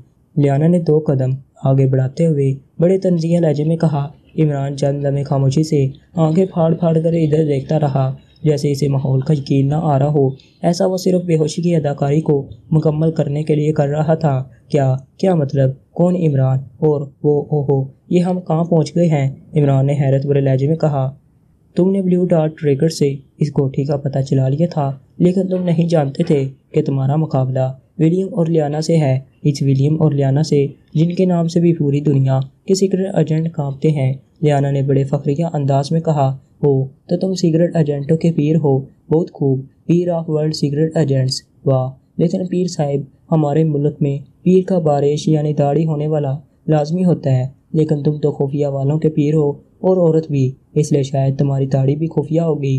पेट के अंदर तो नहीं। इमरान ने मुस्कुराते हुए कहा, देखो हमने तुम्हें किस तरह बेबस कर दिया? अब मैं तुम्हारा सर काट कर अपने साथ ले जाऊँगा। विलियम ने कहा अच्छा वेरी गुड लेकिन एक शर्त है। मेरा सर लियाना की ख्वाह हुआ में रख देना। इमरान ने सर हिलाते हुए कहा, और विलियम और लियाना का चेहरा यकलकत आग बन गया। तुम मेरी वाइफ की तहीन कर रहे हो, और जानते हो, इसकी क्या सज़ा है? मैं चाहता तो बेहोशी के दौरान ही तुम्हारी गर्दन काट देता। लेकिन ब्लैक हाक के चीफ ने तुम्हारी तारीफ़ों के पुल बाँध दिए थे। इसलिए मैंने सोचा कि तुमसे दो बातें कर ली जाएँ, लेकिन तुम वाकई मुकम्मल और मुजस्म अहमक हो, विलियम ने दांत पेजते हुए कहा। सिर्फ़ अहमक नहीं, अहमकों का सरदार या फिर अहमकों का पीर कहते तो कोई बात भी होती। इमरान ने मुस्कराते हुए कहा, अभी तुम्हारी ये फजूल बोलने वाली ज़बान हमेशा के लिए बंद हो जाएगी, समझे? लियाना ने चीख कर कहा, और फिर वह सोजे की तरफ़ मुड़ी। सोजे, खंजर ले आओ, मैं अपने हाथों से इसका सर इसके धड़ से अलहदा करूँगी। लियाना ने सोजे से कहा और सोजे दरवाजे की तरफ़ मुड़ गया। मैं तो समझा था कि लियाना दुनिया की हसीर तरीन औरत है, लेकिन ये तो जलाद फितरत है। न जाने तुम्हारा क्या हशर करती होगी। इमरान ने मुँह बनाते हुए कहा और इसकी तो के एन मुताबिक विलियम इंतहाई गसीले अंदाज में इमरान को थप्पड़ मारने के लिए तेज़ी से इसकी तरफ़ बढ़ा। उसी लम्हे इमरान ने अपनी कलाइयों को यकलकत जोरदार झटका दिया और साथ ही तेज़ी से नीचे की तरफ़ झुका और इसे पूरी कुत से थप्पड़ मारने की कोशिश करता हुआ विलियम वार खाली जाने की वजह से खुद ब खुद घुमा और दूसरे लम्हे इमरान ने बिजली की तेज़ी से इसे उठाकर पूरी कुत से इन पाँच मसला अफराद पर उछाल दिया। विलियम बुरी तरह चीखता हुआ पाँचों मसला अफराद से जा टकराया जो दरवाजे के पास इकट्ठे ही खड़े थे और इसके साथ ही इमरान पूरी कुत से छलांग लगाकर दरवाजे तक पहुँचा और इसकी लात पूरी कुत से विलियम के पहलों पर पड़ी। विलियम जो तेज़ी से उठ रहा था, एक बार फिर हलक के बाल चीखता हुआ दरवाजे के फट से टकराकर नीचे गिरा। इमरान जरब लगाकर हाथों के बल कलाबाजी खा गया और इसकी इस कलाबाजी ने दर हकीकत इसकी जान बचा ली, क्योंकि उसी लम्हे नीचे गिरे हुए एक आदमी की मशीन गन लियाना ने उठाकर इमरान पर फायरिंग कर दी थी और इसकी मशीन गन से निकलने वाली गोलियों की बौछाड़ इमरान के सर से और फर्श के दरमियान खला से निकलती चली गई। खलाबाजी खाते हुए इमरान की दोनों लातें पूरी कुत से लियाना के सर पर पड़ी और इसके साथ ही इमरान तेज़ी से उछला और तरतरहाट की तेज़ आवाज़ों के साथ ही इंसानी चीकों ने कमरे को हिलाकर रख दिया। ये फायरिंग इमरान ने एक मशीन गन उठाकर की थी और फिर वो तेज़ी से घुमा और दूसरे राउंड के साथ ही दरवाजे पर नमदार होने वाला सोजा चीखता हुआ उछल कर बाहर गिरा। इसके सीने पर न जाने कितनी गोलियाँ उतर गई थी। उसी लम्हे इमरान को ऐसा महसूस हुआ जैसे इसके बाजू से अंगारे से टकराए हों और इमरान ने यकलकत साइड में छलांग लगाई और नीचे गिरते ही इसकी मशीन गन से एक बार फिर तड़तड़ाहट हुई और इस पर फायर करने वाला एक मसला आदमी लट्टू की तरह घूम कर फर्श पर गिरा। उसी लम्हे इमरान को एक साया सा दरवाजे की तरफ़ लगता हुआ दिखाई दिया। इमरान बिजली की तेज़ी से घुमा। और इसने गोलियों की बछाड़ दरवाजे पर कर दी, लेकिन उसे एक लम्हे की देर हो गई थी और गोलियाँ दरवाजे के बाहर बरूनी दरादारी की दीवार से टकराईं और इसके साथ ही भागते हुए कदमों की आवाज़ें दूर जाती हुई सुनाई दी। इमरान उछल कर दरवाजे से बाहर निकला, जहाँ सोजे और विलियम की लाशें पड़ी हुई थी, जिनके सीने से खून निकल निकल कर तालाब की सूरत में फर्श पर जमा हो गया था। छलांग लगाते हुए इमरान का पैर ठीक इस खून पर पड़ा और फिर इमरान ने अपने आप को संभालने की बेहद कोशिश की, लेकिन इसका पैर उलट ही गया और वो ना सिर्फ़ एक धमाके से फर्श पर गिरा, बल्कि काफ़ी दूर तक घसीटता चला गया। इसे इस तरह अचानक गिरने से खासी चोटें आई। लेकिन ज़ाहिर है, इस वक्त इमरान को इन चोटों की क्या परवाह हो सकती थी? वो एक झटके से उठा और बाहर बरामदे की तरफ़ दौड़ता चला गया। और जब वो बरामदे में पहुँचा तो इसने लियाना को फाटक से बाहर निकलते देख लिया। इमरान बिजली की तेज़ी से इसके पीछे लपका, लेकिन फिर फाटक के करीब पहुँच वो रुक गया। ज़ाहिर है, इस तरह पागलों की तरह दौड़ने का अब कोई फ़ायदा न था। लियाना निकल जाने में कामयाब हो गई थी और अभी इसके साथी बेहोश पड़े हुए थे और हो सकता था कि लियाना के और साथी कहीं करीब ही मौजूद हों और वो पूरी कुत से इन पर टूट पड़े। इसके साथियों को होश में आना ज़रूरी था। पानी वाला नुस्खा इसे मालूम हो चुका था, वरना एंटी क्लाजम इंजेक्शन ढूँढने में तो ज़ाहिर है, काफ़ी वक्त लग जाता। इसलिए इमरान बरामदे के साथ ही एक कमरे के बाथरूम में घुसा और फिर इसने वहाँ मौजूद प्लास्टिक की बाल्टी को बड़े नल के नीचे रख कर नल खोल दिया। चंद लम्हों में बाल्टी आधे से ज़्यादा भर गई। इमरान ने नल बंद किया और बाल्टी उठाए, वो अपने साथियों की तरफ़ बढ़ गया और फिर चंद ही लम्हों बाद वो सब के सब होश में आ चुके थे। जल्दी करो, हैरान होने का वक्त नहीं है। लियाना निकल गई है। वो किसी तरह भी विलियम जैसे खतरनाक और टॉप एजेंट से कम नहीं है। वो किसी भी वक्त दोबारा हमला कर सकती है। मशीन गने उठाऊं और यहाँ से निकलने की करो, इमरान ने तेज़ लहजे में कहा और उसके साथियों ने मुर्दा अफराद के करीब पड़ी। मशीन गने झपट ली इमरान इन्हें लिए हुए। तेज़ी से अकबी तरफ़ आया और फिर अकबी दरवाज़ा खोल कर पहले इमरान बाहर निकला और इसके बाद बाकी साथी भी बाहर निकलते चले गए। इमरान साहिब, आपने अकेले ही इन सबको मार गिराया है? सदीकी ने हैरत भरे लहजे में कहा, अकेले? अरे हाँ मैं अकेला था। वो गजब हो गया। मैं तो समझा था, तुम सब साथ हो। अरे बाप रे बाप, इतने आदमी और मैं अकेला और मैंने इन सबको हलाक कर दिया। इमरान ने खौफजदा होने की अदाकारी करते हुए कहा और सब बे इख्तियार हंस पड़े। हंसना बंद करो और मेरी बात ध्यान से सुनो। सब यहाँ से अलग अलग होकर सीधे सीधे अपने फ्लैट पर पहुँच जाओ। लेकिन निगरानी का खास ख्याल रखना, इमरान ने तेज़ लहजे में कहा और खुद बाएँ तरफ़ की गली में मुड़ गया, जबकि बाकी साथी सीधे आगे की तरफ़ दौड़ते चले गए। उन्होंने चक्कर काट कर सड़क पर जाने का फैसला किया था। लियाना मौका मिलते ही छलांग लगाकर कमरे से निकली और फिर बेहताशा अंदाज में दौड़ती हुई लान क्रॉस करके फाटक की खोली खिड़की से बाहर निकल गई। इस वक्त इसका अंदाज ऐसा था, जैसे भेड़ियों के खौफ से घबराई हुई हिरनी भागती है। बाहर आते ही वो बिजली की तेज़ी से दौड़ती हुई सामने वाली कोठी के गेट में दाखिल हुई, जिसकी खिड़की खुली हुई थी। ये वही कोठी थी, जिसमें इसे इसने क्लाइजम गैस का ब्लास्ट किया था और जहाँ से निकल कर वो इसके साथी कोठी में दाखिल हुए थे। कोठी के अंदर दाखिल होते ही वो चंद लम्हे दीवार के साथ खड़ी हाँपती रही इसका दिमाग जलजले की जद में था। इसने सोजे और इसके साथियों के साथ अपने शोर विलियम को भी गोलियों का निशाना बनते देखा था। इसे यूँ महसूस हो रहा था जैसे वो मौत के अमीर गड़े से बाहर आई हो। अपने शोर विलियम सोजे और इसके साथियों का ख्याल आया तो इसका जहन खोल उठा। वो बिजली की तेज़ी से दौड़ती हुई बरामदे में गई और फिर दरमिया राहदारी में दौड़ती हुई एक कमरे में घुस गई। इसने दीवार में लगी हुई एक अलमारी खोली और इसमें से एक मिनी मिसाइल गन निकाली और फिर उसी अंदाज में दौड़ती हुई वो सीढ़ियों की तरफ़ लबक गई। मैं इन सब के पुरखचे उड़ा दूँगी, इन्हें ज़िंदा जला दूँगी, इनके टुकड़े टुकड़े कर दूँगी। रियाना ने इंतहाई गसीले अंदाज में बड़बड़ाते हुए कहा और फिर एक ही जलांग में दो दो सीढ़ियाँ फलांगती हुई। वो ऊपर वाली मंजिल पर पहुँच गई। चंद लम्हों बाद वह एक बार फिर इसी खिड़की के सामने थी, जिसे सामने वाली कोठी का अंदरूनी हिस्सा साफ़ नज़र आ रहा था। इसने जल्दी से मिनी मिसाइल गन सीधी की और इसका रुख आमले के अंदरूनी हिस्से की तरफ़ करके इसने दांत बेचते हुए ट्रेगर दबा दिया। लेकिन दूसरे लम्हे ट्रीट की आवाज़ सुनकर बुरी तरह उछल पड़ी। ये आवाज़ बता रही थी कि मिनी मिसाइल गन खा ली है। ओ वेरी बैड मैंने इसमें मिसाइल तो लोड ही नहीं किए। रियाना ने बुरी तरह झंझलाए हुए लहजे में कहा और फिर तेज़ी से वापस भागी। इस बार वो आंधी और तूफ़ान की तरह नीचे आई और इसी कमरे में पहुंचकर इसने दोबारा अलमारी खोली।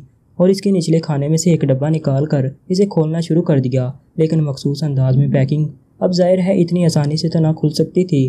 बहरहाल लियाना हतमकान तेज़ी से काम करती रही और फिर थोड़ी सी जद्दोजहद के बाद वो पैकिंग खोलने में कामयाब हो गई। इसमें सुरख रंग के छः मिनी मिसाइल मौजूद थे, जो साइज़ में तो खासे छोटे थे, लेकिन लियाना जानती थी कि इनमें खौफनाक तबाही का पूरा सामान मौजूद था।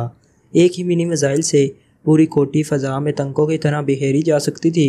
इसने जल्दी से एक मिसाइल गन में लोड किया, दूसरा उठाकर जैकेट की जेब में डाला और एक बार फिर उसी तरह आंधी और तूफ़ान की तरह दौड़ती हुई वापस ऊपर वाले कमरे में पहुँच गई।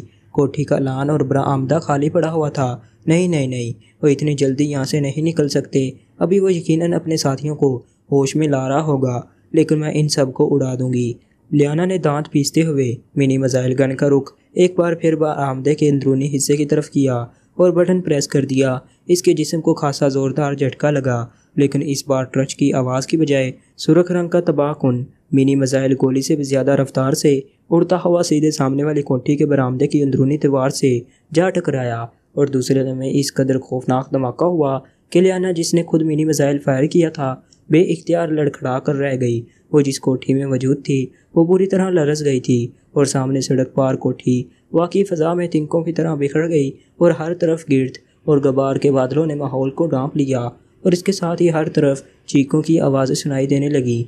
मिनी मिसाइल ने ना सिर्फ़ इस कोठी को तबाह कर दिया था, बल्कि दाएँ बाएँ मलहक्का कोठियाँ भी शदीद मुतासर हुई थीं और चीखों की आवाज़ें इन्हीं कोठियों से आ रही थीं। तबाह होने वाली कोठी के मलबे ने फ़ज़ा में फैल कर और ज़्यादा क़्यामत बर्पा कर दी थी, मगर लियाना के चेहरे पर सुकून इमट आया था, इसे यकीन था कि इमरान और उसके साथी कोठी के अंदर ही मौजूद थे। और ज़ाहिर है, अब इनके जिस्मों के टुकड़े भी कोठी के मलबे के साथ ही फ़ज़ा में उड़ रहे होंगे। और अब इसे सिर्फ़ इतना करना था कि इमरान का धड़ से अलग होने वाला सर ढूंढ कर इसकी मौत की तस्दीक करनी थी। सड़क पर हर तरफ़ बड़ी तरह बिगदड़ सी मच गई थी और फिर दूर से फायर ब्रिगेड और पुलिस गाड़ियों के मखसूस हार्न सुनाई देने लगे। शायद पुलिस, थाना और फायर ब्रिगेड यहाँ से करीब ही थे कि किसी के फ़ोन करने पर इतनी जल्दी पहुँच रहे थे।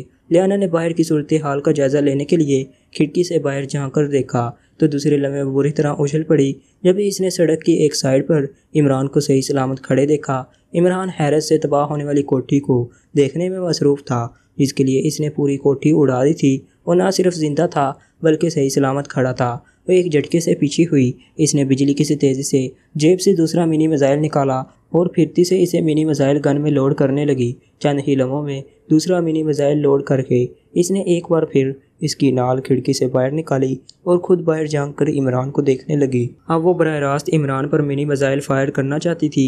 ये तो इसे मालूम था कि इस तरह इमरान का जिसम करोड़ों ज़र्रों में तब्दील हो जाएगा, लेकिन अब वो हर सूरत में इमरान को हलाक कर देना चाहती थी। इमरान अब भी कोठी की तरफ़ ही देख रहा था लियाना ने तेज़ी से मिनी मिसाइल गन को सीधा किया और उसी में इमरान की नज़रें घूम कर इस पर पड़ी और फिर लियाना के ट्रिगर दबाने और इमरान के छलांग लगाने का वक़्त बिल्कुल एक ही था। इमरान ने अचानक एक लंबी छलांग लगाई थी, लेकिन इस वक्त तक लियाना ट्रिगर दबा चुकी थी और इसके पास मिनी मिसाइल गन का रुख बदलने का वक़्त न था। मिनी मिसाइल गोली से भी ज़्यादा तेज़ी से निकला और ठीक इस जगह सड़क से टकराया, जहाँ एक लम्हा पहले इमरान मौजूद था और इसके साथ ही एक और खौफनाक धमाका हुआ।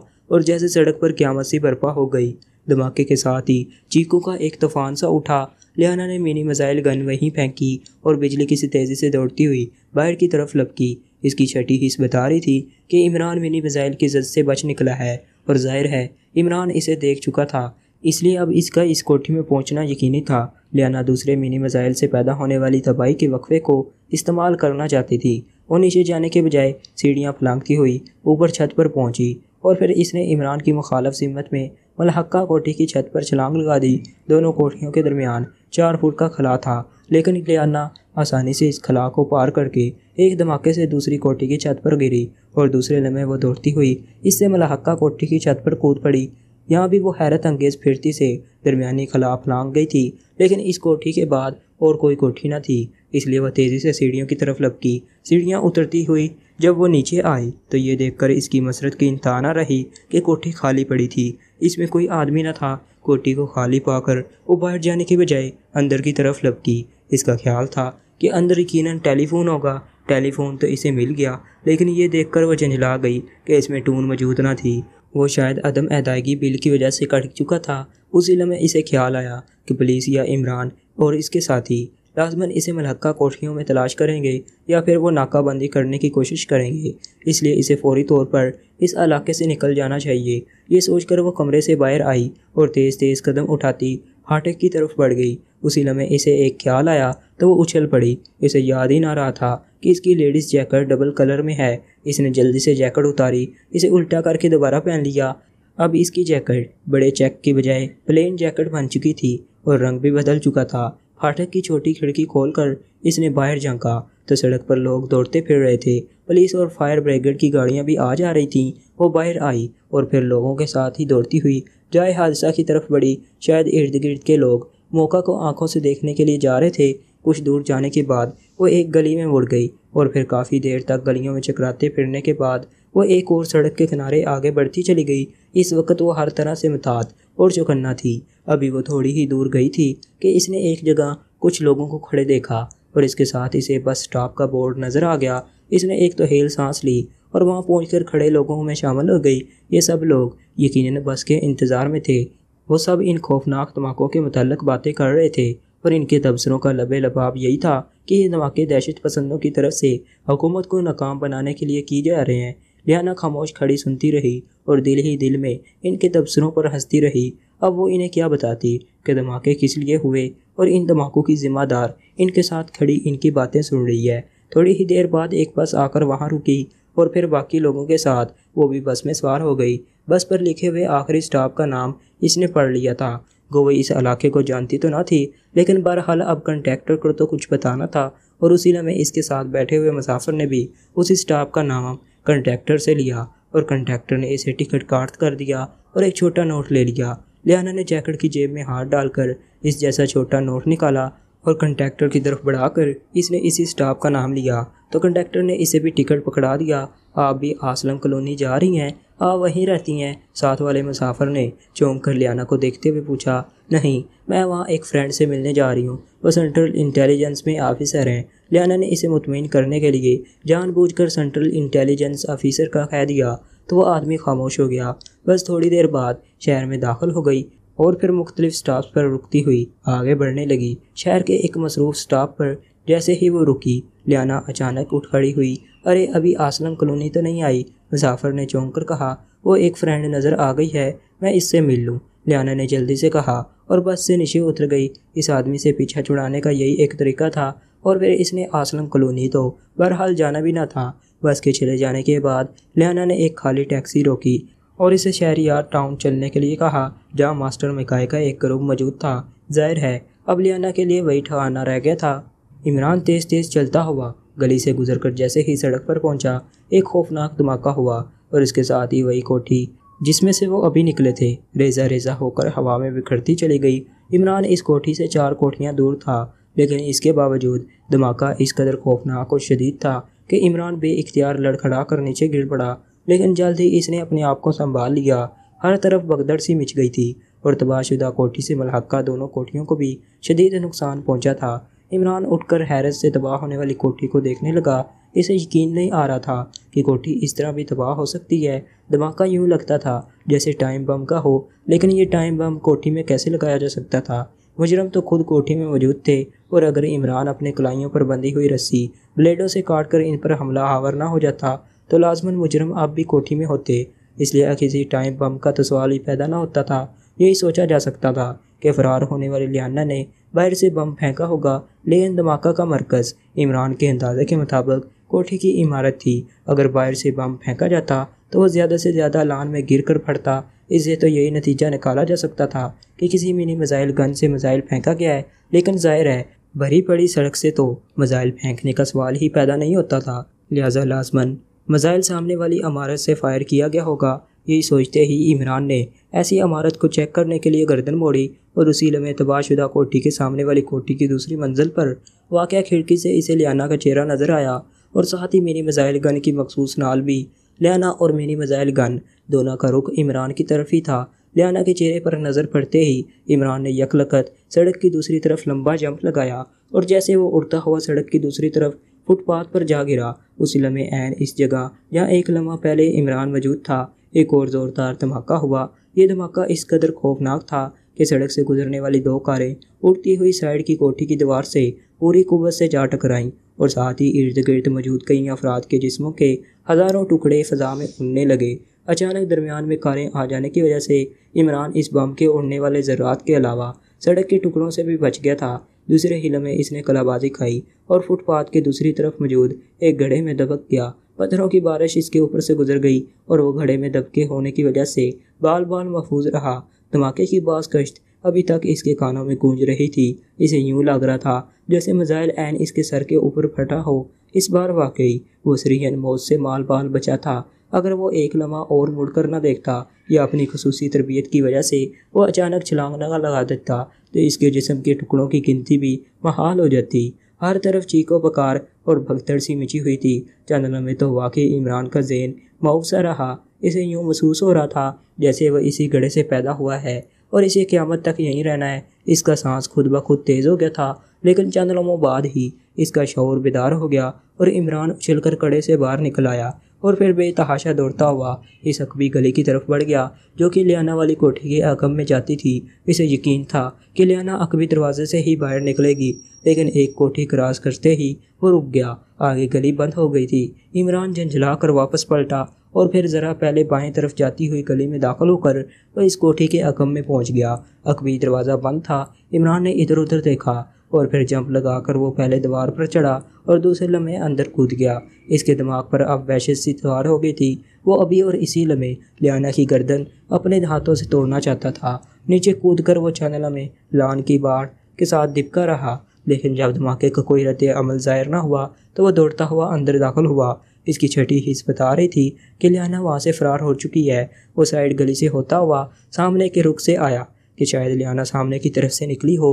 हालाँकि बज़ाहिर इसका इम्कान न था, क्योंकि मुजरमों की नफसियात के मुताबिक इस कदर खौफनाक वारदात करने के बाद सामने की तरफ़ जाने का वह हौसला न कर सकते थे। लेकिन इसके बावजूद इमरान ने चेक करना ज़रूरी समझा मेन फाटक और इसकी जैली खिड़की अंदर से बंद थी। इमरान लियाना के इस तरह फरार हो जाने पर दिल ही दिल में हैरान था। पहले भी तबाहशुदा कोठी में मुजरम इसी तरह फरार हुए थे कि दोनों बरूनी दरवाजे अंदर से बंद थी और अब भी यही सूरत हाल थी। हालाँकि वो आसानी से कोई भी दरवाज़ा खोल कर बाहर निकल सकते थे।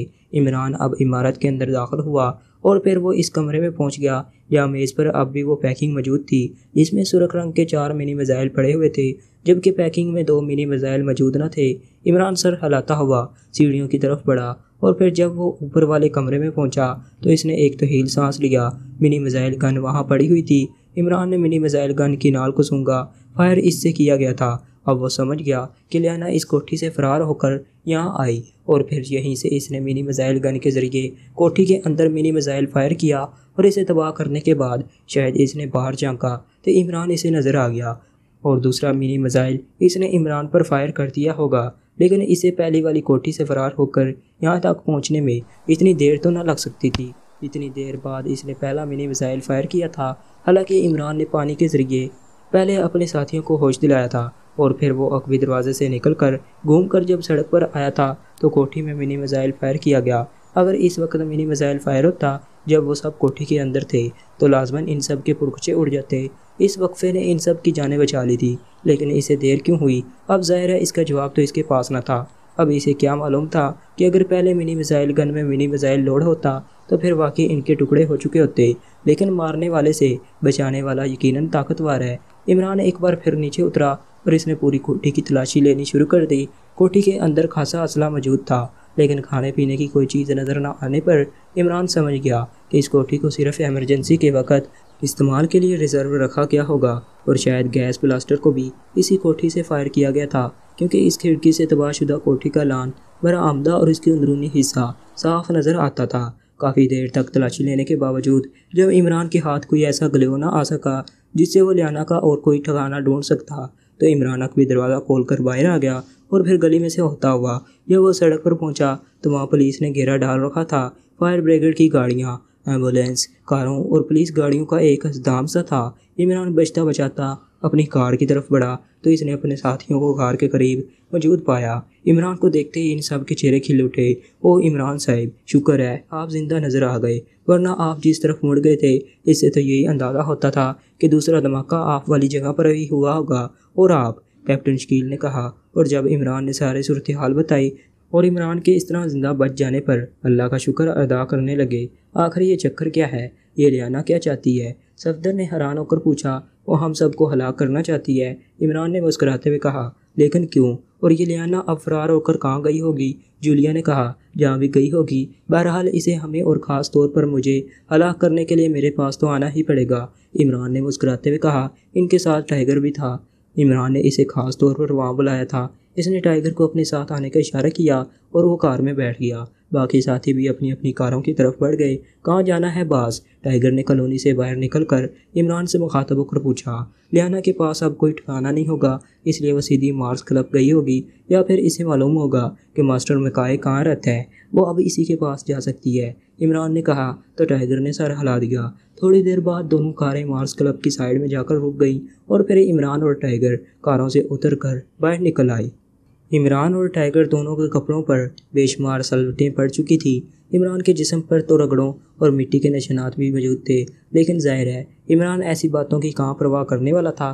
क्लब में इस वक्त भी अच्छा खासा रश था। इमरान काउंटर की तरफ़ मुड़ गया, जहाँ हेलर की जगह अब एक दुबला पतला सा आदमी खड़ा था।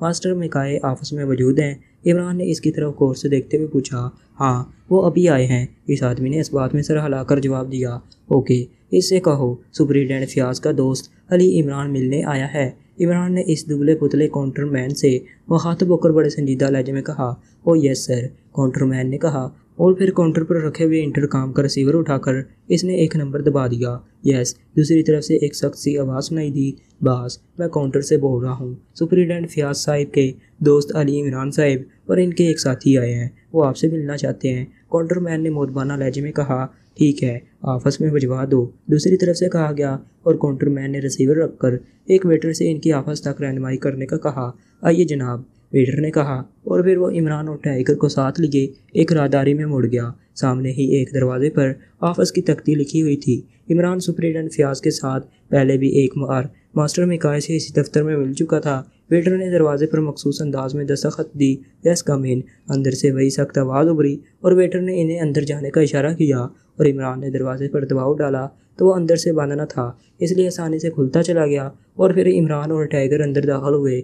मेज़ के पीछे मज़बूत और इंतहाई कुसरती जिसामत का मालक मास्टर मकाए कुर्सी पर बैठा हुआ था।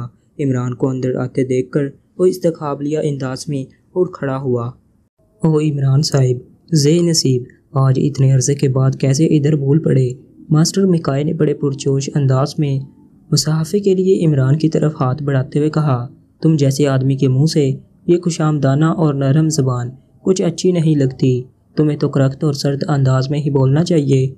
इमरान ने मुसाफा करते हुए कहा और मास्टर मिकाई खिलखिलाकर हंस पड़ा और फिर इसने टाइगर से भी मुसाफा किया और इन्हें कुर्सियों पर बैठने का इशारा किया। टाइगर चूँकि कोबरा के मेकअप में न था, इसलिए वो इसे ना पहचानता था। पहले तो ये बताएँ कि आप क्या पीना पसंद करेंगे? मास्टर मिकाई ने कहा, फ़िलहाल हम पीने के नहीं। तुम्हें कुछ पिलाने के मूड में है? इमरान ने मुस्कुराते हुए कहा, क्या मतलब? आप मुझे क्या पिलाएँगे? मास्टर मिकाई ने हैरान होते हुए पूछा, अगर तुमने मामूली सा झूठ बोला तो झाड़ पिलाऊँगा। और अगर ज़्यादा झूठ बोलने की कोशिश की तो यहाँ से ले जाकर कोलों में भी पीला जा सकता है। और अगर मुझे बहुत ज़्यादा गुस्सा आया तो हो सकता है कि तुम्हें अपना ही खून पीड़ा पड़ जाए।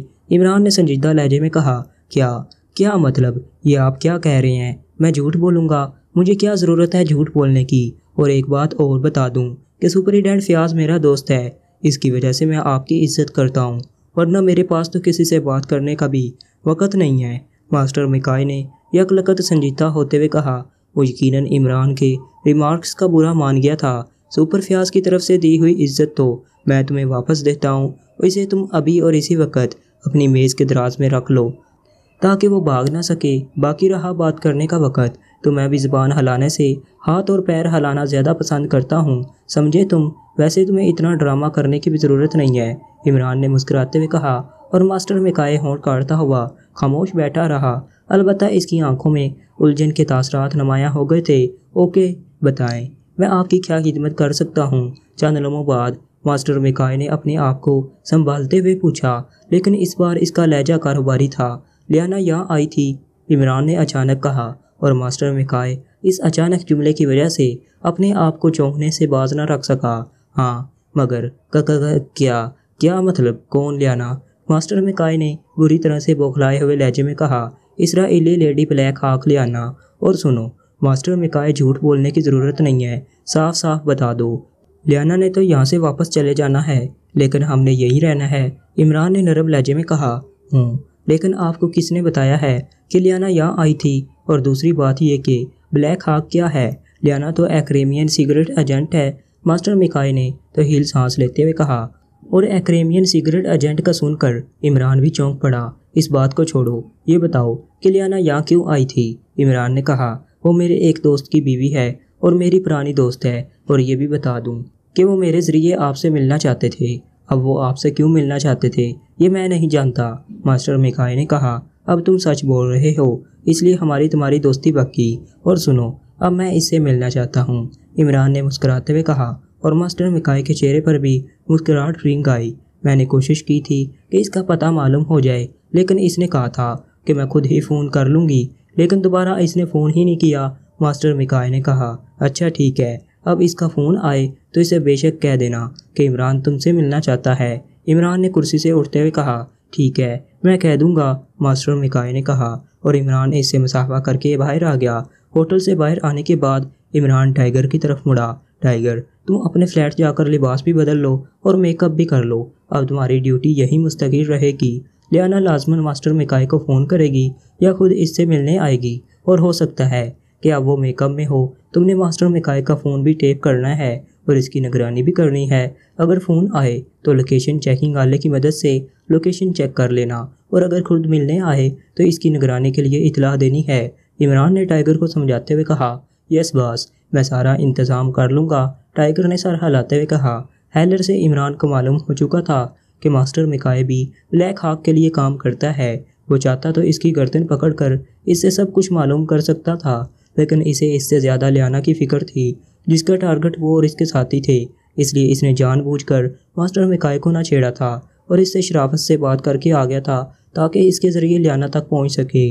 वो ये भी जानता था कि लियाना की हालत इस वक्त किसी जख्मी शेरनी की सी होगी, क्योंकि इसका शोर इसके हाथों हलाक हो चुका था और लियाना अब अपने शोर की इंतकाम के लिए सुलग रही होगी। इससे कोई बेईद न था कि वो अब कब और किस अंदाज में इस पर हमला कर दे। वो बहरहाल एक खतरनाक लेडी एजेंट थी।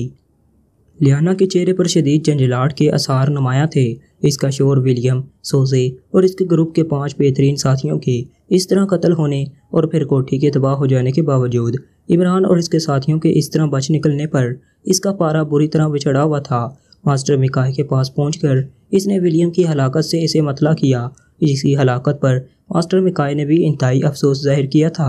लियाना ने कुछ सोचकर मास्टर मिकाय से मदद लेने की बजाय ओटी से रबता करने का प्रोग्राम बनाया था। इसने मास्टर मिकाय को ओटी के बारे में सारी बात बता दी और फिर इसने ओटी के नंबर पर इससे बात की। ओटी को इसने विलियम और इसके दिए हुए ग्रुप की हलाकत से मतला किया तो ओटी ने इसे एक और ग्रुप देने का वादा कर लिया। इस ग्रुप में ग्यारह आदमी थे, जिसका बास चेकअप था। ओटी ने इसे नया ठिकाना भी मुहैया कर दिया था, इसलिए लियाना मास्टर मिकाई के पास से उठकर फ़ौरन वहाँ से रवाना हो गई। और नए ठिकाने पर पहुंचकर इसने जैकब और इसके ग्रुप को वहीं बुला लिया और फिर इसने जैकब और इसके देगर साथियों को हर तरह तैयार रहने का हुक्म दिया। लेकिन अब लियाना को यह समझ समझना आ रही थी कि वो इमरान को कहाँ घेरे। वैसे वो दिल ही दिल में खुद को कोस रही थी कि वो और विलियम इमरान से बातें करने के चक्कर में क्यों पड़ गए। बेहतर होता कि वो बेहोश इमरान और इसके साथियों को गोलियों से छिलनी कर देते। लेकिन इन्हें क्या मालूम था कि इमरान सिरे से बेहोश ही नहीं हुआ था। अगर वह इस वक्त इसे मारने की कोशिश करते, तब भी इमरान लाजमन मजामत करता, चाहे इसका नतीजा कुछ भी निकलता।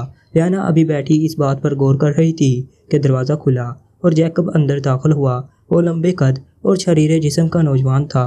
मदाम, क्या मैं इमरान के फ्लैट की निगरानी के लिए एक आदमी को भेज दूँ, ताकि जैसे ही इमरान फ्लैट पर पहुँचे तो हमें इतला कर दे? जैकब ने मोदबाना लहजे में कहा, इसकी ज़रूरत नहीं है, क्योंकि मेरे ख्याल में एक मरतबा फ्लैट पर हमले के बाद वो अब फ्लैट पर हरगज ना जाएगा। हमें इसका कोई और ठिकाना ढूंढना होगा। अरे हाँ मास्टर मिकाई ने सुप्रीडेंट फ्याज के मतलब बताया था। कि वो इमरान को कहीं ना कहीं से ढूंढ निकालेगा। मास्टर मकाई ने इसका कोई पता तो बताया था। लियाना ने सोचने वाले अंदाज में कहा, मास्टर मकाई कौन है, मादाम? जैकब ने पूछा। वो अब एक कुर्सी पर बैठ चुका था। है एक आदमी।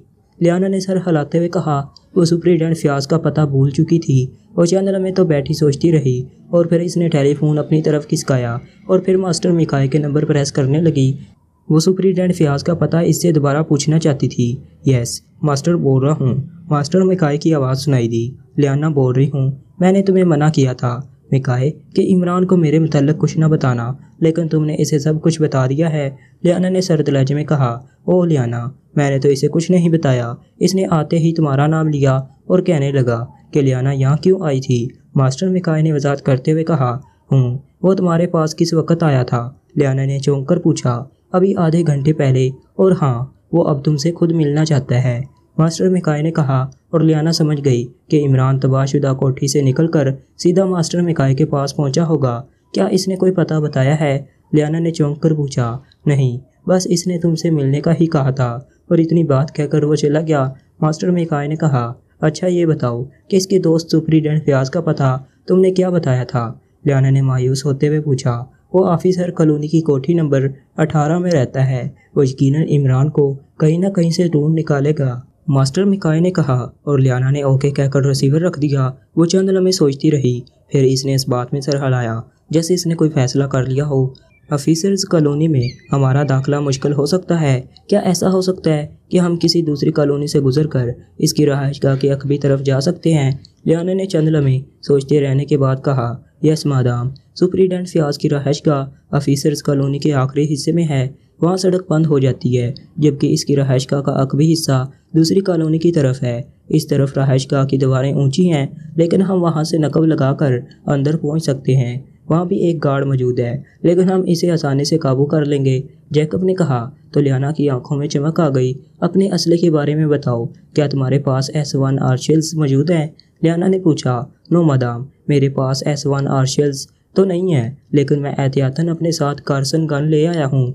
इस गन से हम जहरीले कैप्सूल फायर कर सकते हैं, जिनसे बेशुमार अफराद को एक लम्हे में बेहोश किया जा सकता है। जैकब ने जवाब दिया, ठीक है कारस गन से ही काम चल जाएगा। तुम तैयारी करो। हम अभी सुप्रीडेंट फ्याज की रहाइश गाह जाएँगे और वो भी अकबी जानब से। लियाना ने कहा तो जैकब ने इस बात में सर हिलाया और बाहर निकल गया। लियाना चंद नमें सोचती रही, फिर इसने कुछ सोचकर सेल फ़ोन उठाया और फिर इसने तेज़ी से नंबर प्रेस करने शुरू कर दिए। यस इंक्वायरी पुलिस चंद लम्हों बाद ही दूसरी तरफ़ से आवाज़ सुनाई दी। सेंट्रल इंटेलिजेंस के सुप्रीडेंट फ्याज के ऑफ़िस का नंबर बताओ। लियाना ने कहा तो ऑपरेटर ने इसे एक नंबर बता दिया। लियाना ने क्रेडल पर हाथ मारकर टोन क्लियर की और तेज़ी से नंबर प्रेस करने लगी। यस सेंट्रल इंटेलिजेंस ब्यूरो रबता मिलते ही एक मर्दाना आवाज़ सुनाई दी। मेरा नाम मर्सी है और मैं ग्रेट लैंड की सेंट्रल इंटेलिजेंस से ताल्लुक़ रखती हूँ। क्या आप मेरी सुप्रीडेंट साहिब से बात करा सकते हैं। लियाना ने एक फ़र्जी नाम बताते हुए कहा सॉरी मैडम, सुपर साहब, आज ऑफ़िस नहीं आए हैं। सुबह इनका फ़ोन आया था, इनकी तबीयत कुछ ठीक नहीं है, इसलिए वो आज घर पर ही आराम कर रहे हैं। दूसरी तरफ़ से जवाब दिया गया, ओके, आप इनके घर का नंबर थे मैं वही बात कर लेती हूँ इनसे। लियाना ने कहा तो दूसरी तरफ़ से इसे एक नंबर बता दिया गया। लियाना ने ओके कहकर कॉल ड्रॉप की और फिर क्रेडर पर हाथ मारा और टून क्लियर होते ही वो ऑपरेटर का बताया हुआ नंबर तेज़ी से प्रेस करने लगी। काफ़ी देर तक घंटी बजती रही, फिर किसी ने रिसीवर उठा लिया। यस, एक नसवानी आवाज़ सुनाई दी। क्या ये सेंट्रल इंटेलिजेंस के सुप्रीडेंट फ्याज का नंबर है। लियाना ने नसवानी आवाज़ सुनकर नरम लहजे में कहा हाँ फरमाएँ, मैं इनकी मुलाजमा बोल रही हूँ। दूसरी तरफ़ से कहा गया, क्या मैं पूछ सकती हूँ कि सुप्रीडेंट फ्याज साहिब कहाँ हैं? मैंने कुछ देर पहले इनके ऑफ़िस में फ़ोन किया था तो मुझे बताया गया था कि वो ऑफ़िस नहीं गए हैं। लियाना ने पूछा हो जी हाँ इनकी तबीयत ठीक नहीं है, इसलिए वो आज घर पर ही आराम कर रहे हैं। आप कौन बोल रही हैं? दूसरी तरफ़ से मुलाजमा ने पूछा, हेलो हेलो, आपको मेरी आवाज़ आ रही है? हेलो, लियाना ने जानबूझकर ऐसी अदाकारी करना शुरू कर दी, जैसे इसे दूसरी तरफ़ से आवाज़ ही सुनाई ना दे रही हो।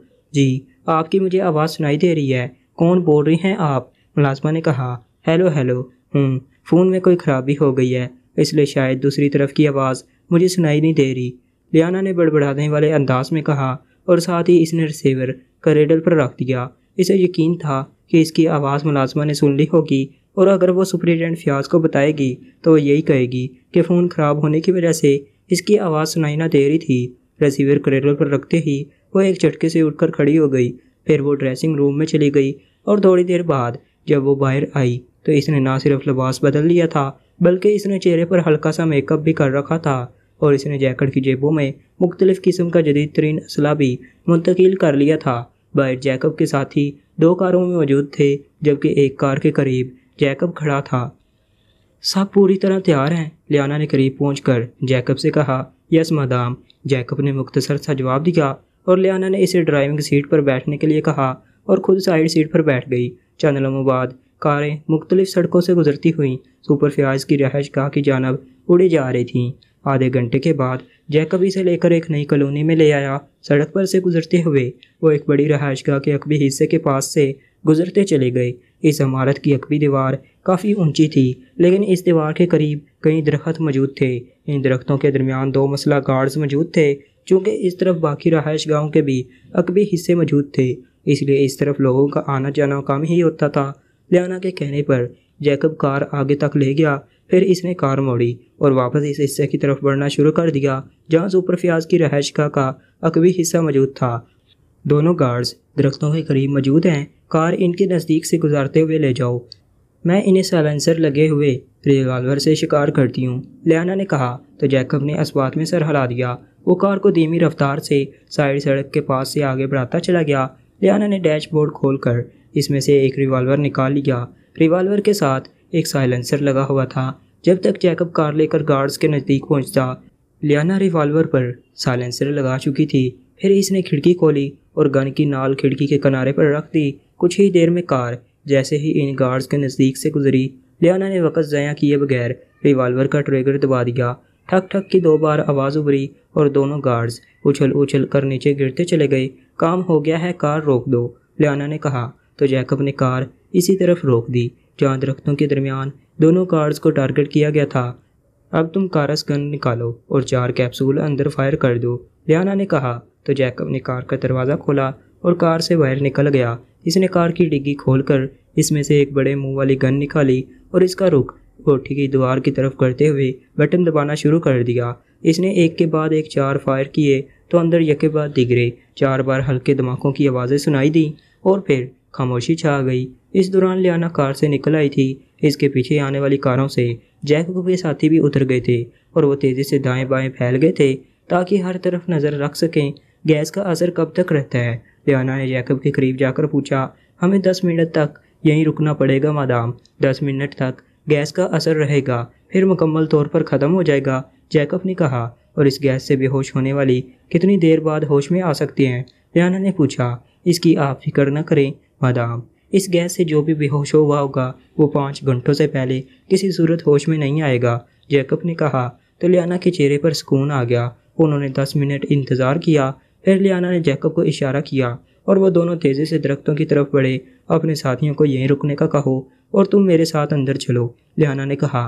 तो जैकब ने इस बात में सर हिलाया, और मुड़कर अपने साथियों के पास जाकर इन्हें हदायत देने लगा। इस दौरान लियाना इर्द गिर्द नज़र डालती हुई और वहाँ किसी गैर मुतल अफराद को मौजूद न पाकर एक दरखत पर तेज़ी से चढ़ती चली गई। ऊपर आकर इसने दीवार के किनारे पकड़े और फिर वह सर उठाकर दूसरी तरफ़ देखने लगी। इस तरफ़ लान था, लेकिन वहाँ कोई मौजूद ना था।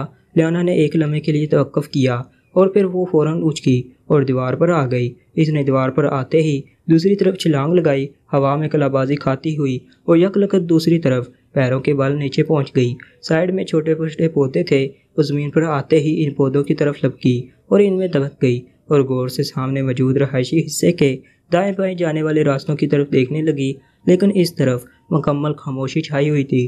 कुछ ही देर में जैकब भी छलांग लगाकर अंदर आ गया। बेफिक्र रहे, मादाम, मैंने चार कैप्सूल फायर किए हैं। गैस ने यहाँ मौजूद तमाम अफराद को बेहोश कर दिया होगा। हम इतमान से अंदर जा सकते हैं। जैकब ने कहा तो लियाना ने इस बात में सर हलाया और फिर वो दोनों उठकर तेज़ी से रहायशी हिस्से की तरफ़ आगे बढ़ते चले गए। फ्रंट साइड पर आते ही ये देखकर लियाना के चेहरे पर सुकून आ गया कि वहाँ कई गार्ड्स और रहायश गाह के मुलाजम टेढ़े मेढ़े अंदाज में गिरे हुए थे। आप कहें तो मैं इन सबको उठाकर एक जगह जमा कर दूँ? जैकब ने कहा, नहीं, इसकी ज़रूरत नहीं है। अलबत्ता तुम गेट की तरफ़ जाओ।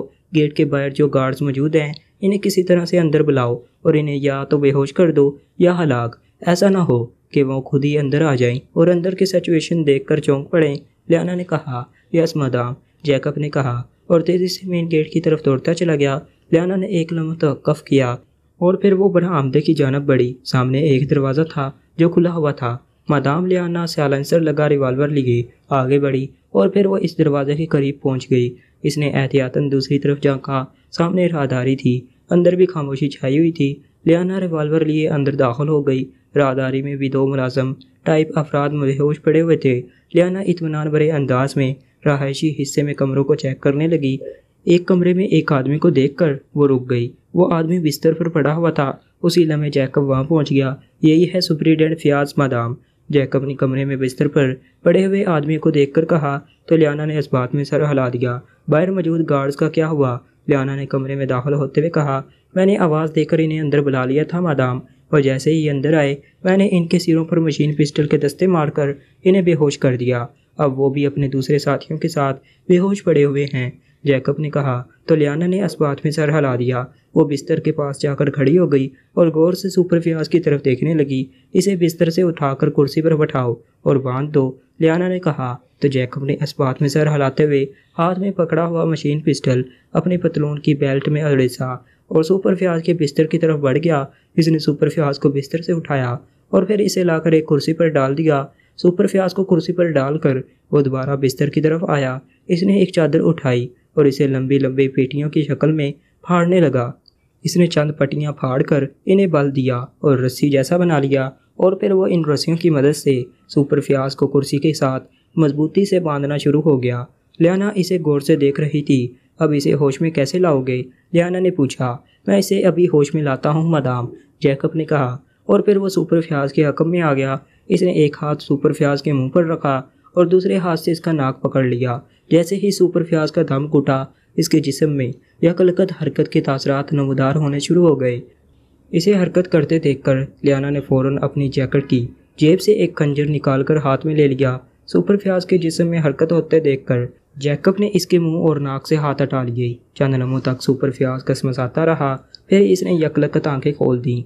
आँखें खोलते ही इसने बे इख्तियार उठने की कोशिश की, लेकिन दूसरे लम्हे इसे मालूम हो गया कि वह कुर्सी पर रस्सी से बंधा हुआ है। क्या क्या मतलब? ये सब क्या है? और तुम? तुम? कौन हो तुम? शौर बेदार होते ही सुपर फ्याज ने इन दोनों को देखकर बड़े बौखलाए हुए लहजे में कहा, मेरा नाम मौत है सुप्रीडेंट फ्याज। लियाना ने इंतहाई सर्द लहजे में कहा मम मम मौत क्या मतलब? और तुम अंदर कैसे आ गए? वो सिक्योरिटी सिक्योरिटी को क्या हुआ? कहाँ गए मेरे महाफज? सुपर फ्याज ने खूब बड़े लहजे में कहा, हमने इन्हें बेहोश कर दिया है। लियाना ने उसी तरह सरत लहजे में कहा, बेहोश, लेकिन क्यों? कौन हो तुम? और यहाँ क्यों आई हो? सुपर फ्याज ने खुद को संभालने की कोशिश करते हुए कहा, मैं तुमसे चंद बातें करने के लिए आई हूँ। सुपरिटेंडेंट फ्याज, ये सुन लो कि तुम्हारे सारे गार्ड्स और इस रहायशगाह के सारे मुलाजम और ख़ास तौर पर तुम्हारी बीवी और बच्चे हमारे कब्ज़े में हैं। इसलिए अगर तुमने किसी गड़बड़ की कोशिश की तो अपनी बीवी और बच्चों की मौत के ज़िम्मेदार तुम खुद होगे। लियाना ने कहा, इसका लहजा बेहद सर था। क्या क्या मतलब? तुम कौन हो और कक क्या चाहते हो? सुपर फ्याज ने खगियाए हुए लहजे में कहा, इस सूरत हाल पर इसका दिमाग मुआवजा हो गया था। जैकब ये खंजर लो। अगर ये हमारे साथ तावन करेगा तो ठीक है, वरना इस खंजर से इसके पहले कान काटना, फिर नाक और फिर एक एक करके इसकी दोनों आँखें निकाल देना। अगर ये फिर भी हमारे साथ तावन करने पर आमादा ना हुआ तो इसकी बोटियाँ उड़ा देना। लियाना ने उसी तरह सरत लहजे में जैकब से मुखातब होकर कहा, और खंजर जैकब की तरफ़ बढ़ा दिया। जैकब ने इस खंजर लिया और सुपर फ्याज के सामने आ गया। खंजर देखकर सुपर फ्याज का रंग और जर्द हो गया। इसके चेहरे पर हवाइयाँ उड़ रही थीं और इसका जिसम काँप रहा था। सुनो, अगर तुम अपनी बीवी और बच्चों की जान बचाना चाहते हो तो हमसे तावन करो, वरना तुम्हें मारने से पहले हम तुम्हारे सामने तुम्हारी बीवी और बच्चों को हलाक करेंगे और फिर तुम्हें भी हलाक कर दिया जाएगा और फिर तुम सब की लाशें गटर में फेंक दी जाएँगी। लियाना ने गिराते हुए कहा तत तुम क्या चाहती हो? सुपर फ्याज ने रो देने वाले लहजे में पूछा, सुनो मुझे तुमसे कोई मतलब नहीं। मैं सिर्फ़ इतना चाहती हूँ कि तुम मुझे बताओ कि इस वक्त तुम्हारा दोस्त अली इमरान कहाँ होगा? लियाना ने कहा, अली इमरान, क्या? क्या मतलब? तुम इसके बारे में क्यों पूछ रही हो? सुपर फयाज ने चौंक कर कहा, जितना तुमसे पूछा जाए, इतना ही जवाब दो। बताओ कहाँ होगा इस वक्त इमरान? लियाना ने सर्द लहजे में कहा, वो अपने फ्लैट पर होगा। वो इस वक्त और कहाँ जा सकता है? सुपर फ्याज ने कहा, अब इसके चेहरे पर उभरने वाली परेशानी गायब होने लगी थी, क्योंकि इसके नज़दीक ये कोई ऐसा मसला न था, जिसके लिए वह अपनी बीवी और बच्चों की ज़िंदगियाँ दाव पर लगाता। और दूसरी बात यह कि इसे मालूम था कि इमरान अपना तहफ़ खुद कर सकता था। इसलिए इसके मतलब बता देने से इसे कोई नुकसान भी नहीं पहुँच सकता था। क्या नंबर है इसका? और पता क्या है? दाना ने होंड पेंचते हुए कहा, किंग रोड पर 200 नंबर फ्लैट है। इसका वो अपने बवर्ची सुलेमान के साथ रहता है।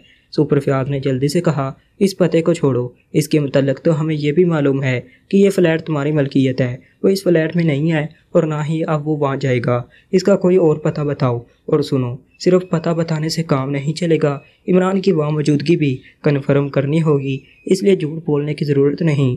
लियाना ने कहा, दूसरा पता ओ मुझे इसके सिर्फ़ एक और पते का इलम है, लेकिन वो वहाँ कभी कभार ही जाता है। वहाँ इसकी दो हफ्शी साथी रहती हैं, राना हाउस इस इमारत का नाम है, हो सकता है वो अब वहाँ हो, सुपर फ्याज ने जल्दी से राना हाउस का पता बताते हुए कहा, वेल डन, वहाँ फ़ोन तो होगा। लियाना ने कहा, यकीनन है सुपर फ्याज ने कहा, अब वो पूरी तरह संभल चुका था। ठीक है, अब तुम वहाँ फ़ोन करोगे और इमरान से बात करोगे। इसे कोई भी बहाना बना देना, लेकिन अगर तुमने इसे हमारे मतलब कोई इशारा भी करने की कोशिश की तो फिर तुम्हारे और तुम्हारी बीवी के साथ वही होगा, जो मैं पहले कह चुकी हूँ। हाँ अगर इमरान वहाँ मौजूद हुआ और तुमने इसे कोई इशारा ना किया तो फिर तुम आज़ाद हो गए। लियाना ने कहा, ठीक है, मैं फ़ोन कर देता हूँ। सुपर फयाज ने फ़ौरन रजामंद होते हुए कहा कहाँ है तुम्हारा सेल फ़ोन लियाना ने पूछा। वो वो सामने तपाई पर पड़ा है। सुपर फयाज ने एक तरफ़ इशारा करते हुए कहा। तो लियाना ने जैकब को इशारा किया। जैकब तेज़ी से बेड की साइड पर पड़ी हुई तपाई की तरफ़ बढ़ा तो वहाँ से एक सेल फ़ोन लेकर आ गया।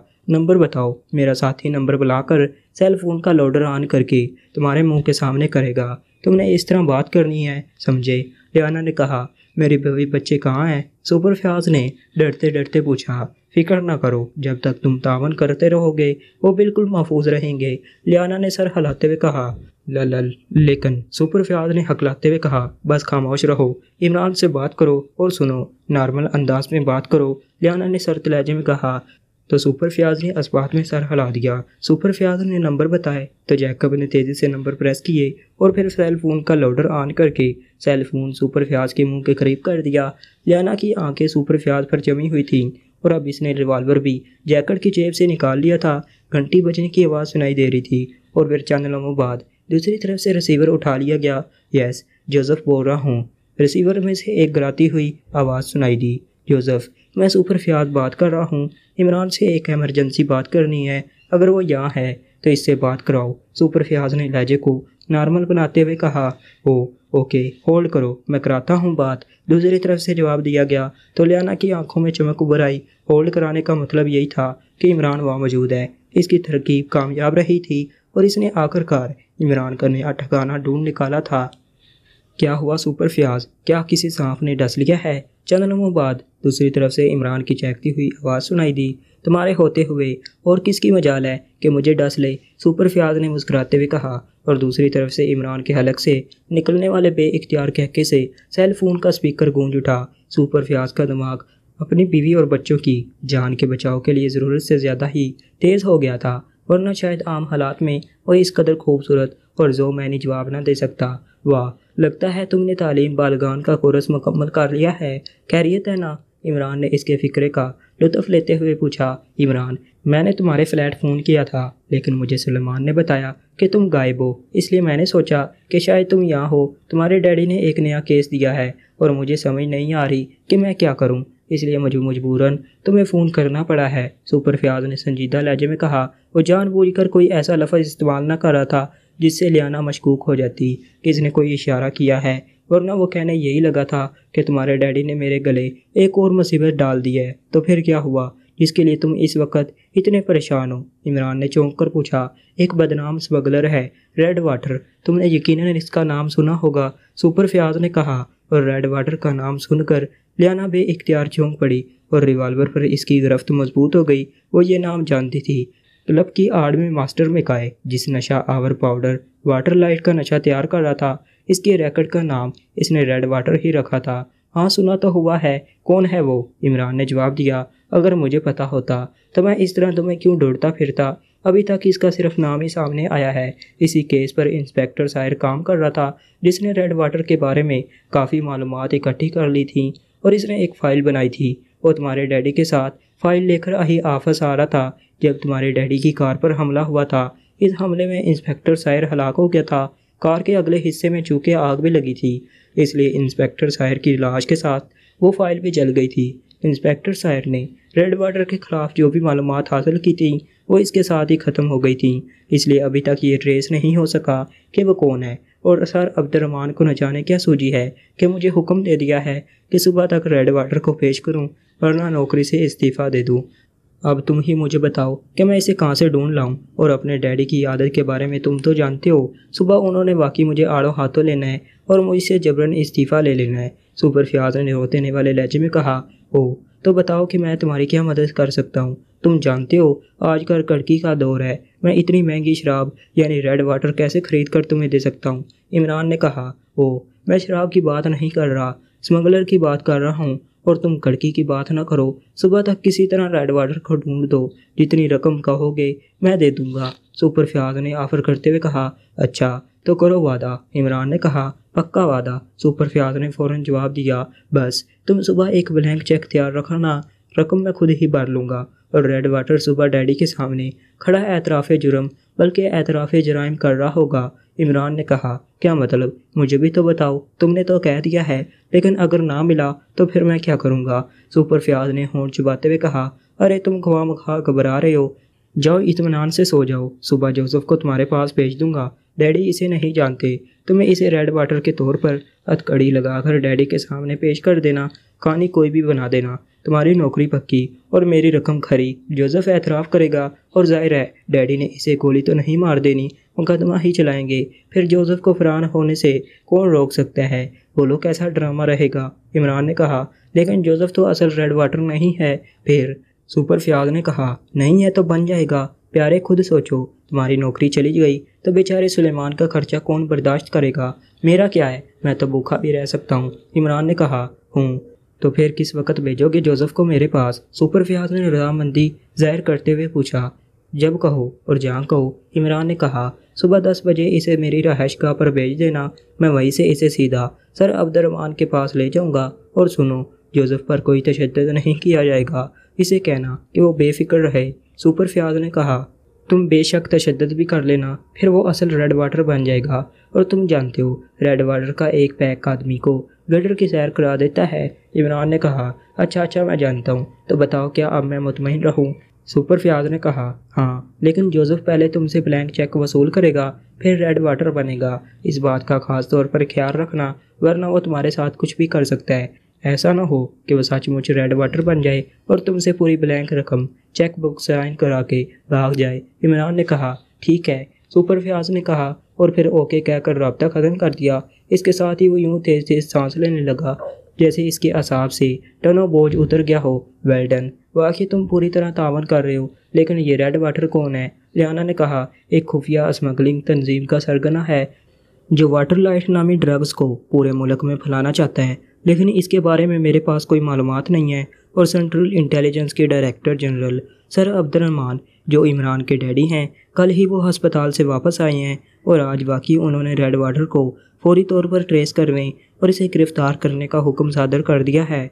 मैंने लंबी बात इसलिए की थी कि इमरान को शक न पड़े, वरना इमरान तो अपने साय से भी होशियार रहने वाला आदमी है, सुपर फ्याज ने कहा। ओके, अब ये बताओ कि क्या तुम कभी राना हाउस के अंदर भी गए हो? लियाना ने कहा हाँ। कई बार गया हूँ। क्यों? सुपर फ्याज ने लियाना के सवाल का मकसद समझे बगैर ही जवाब देते हुए कहा तो फिर इसके अंदर का महल वकू और नक्शा तफसील से बताओ और सुनो, तुम इस वक्त मेरे साथियों के पास रहोगे, जब तक मैं तुम्हारे बताए हुए नक्शे की तस्दीक न कर लूँगा। और अगर तुमने गलत बताया तो फिर मुझे अपनी बात दोहराने की ज़रूरत नहीं रहेगी। लियाना ने सख्त लहजे में कहा मैं बता देता हूँ, मुझे क्या ज़रूरत है? अपनी जान खतरे में डालने की। इमरान जाने और तुम, सुपर फ्याद ने जल्दी से कहा। और फिर इसने तफसील से अंदरूनी नक्शा बता दिया। ज़ाहिर है, वो इतना ही बता सकता था जितना इसने देखा हुआ था। ना वो कभी राना हाउस के नीचे बने हुए। मखसूस तह खानों में गया था और ना इसे इनका इलम था।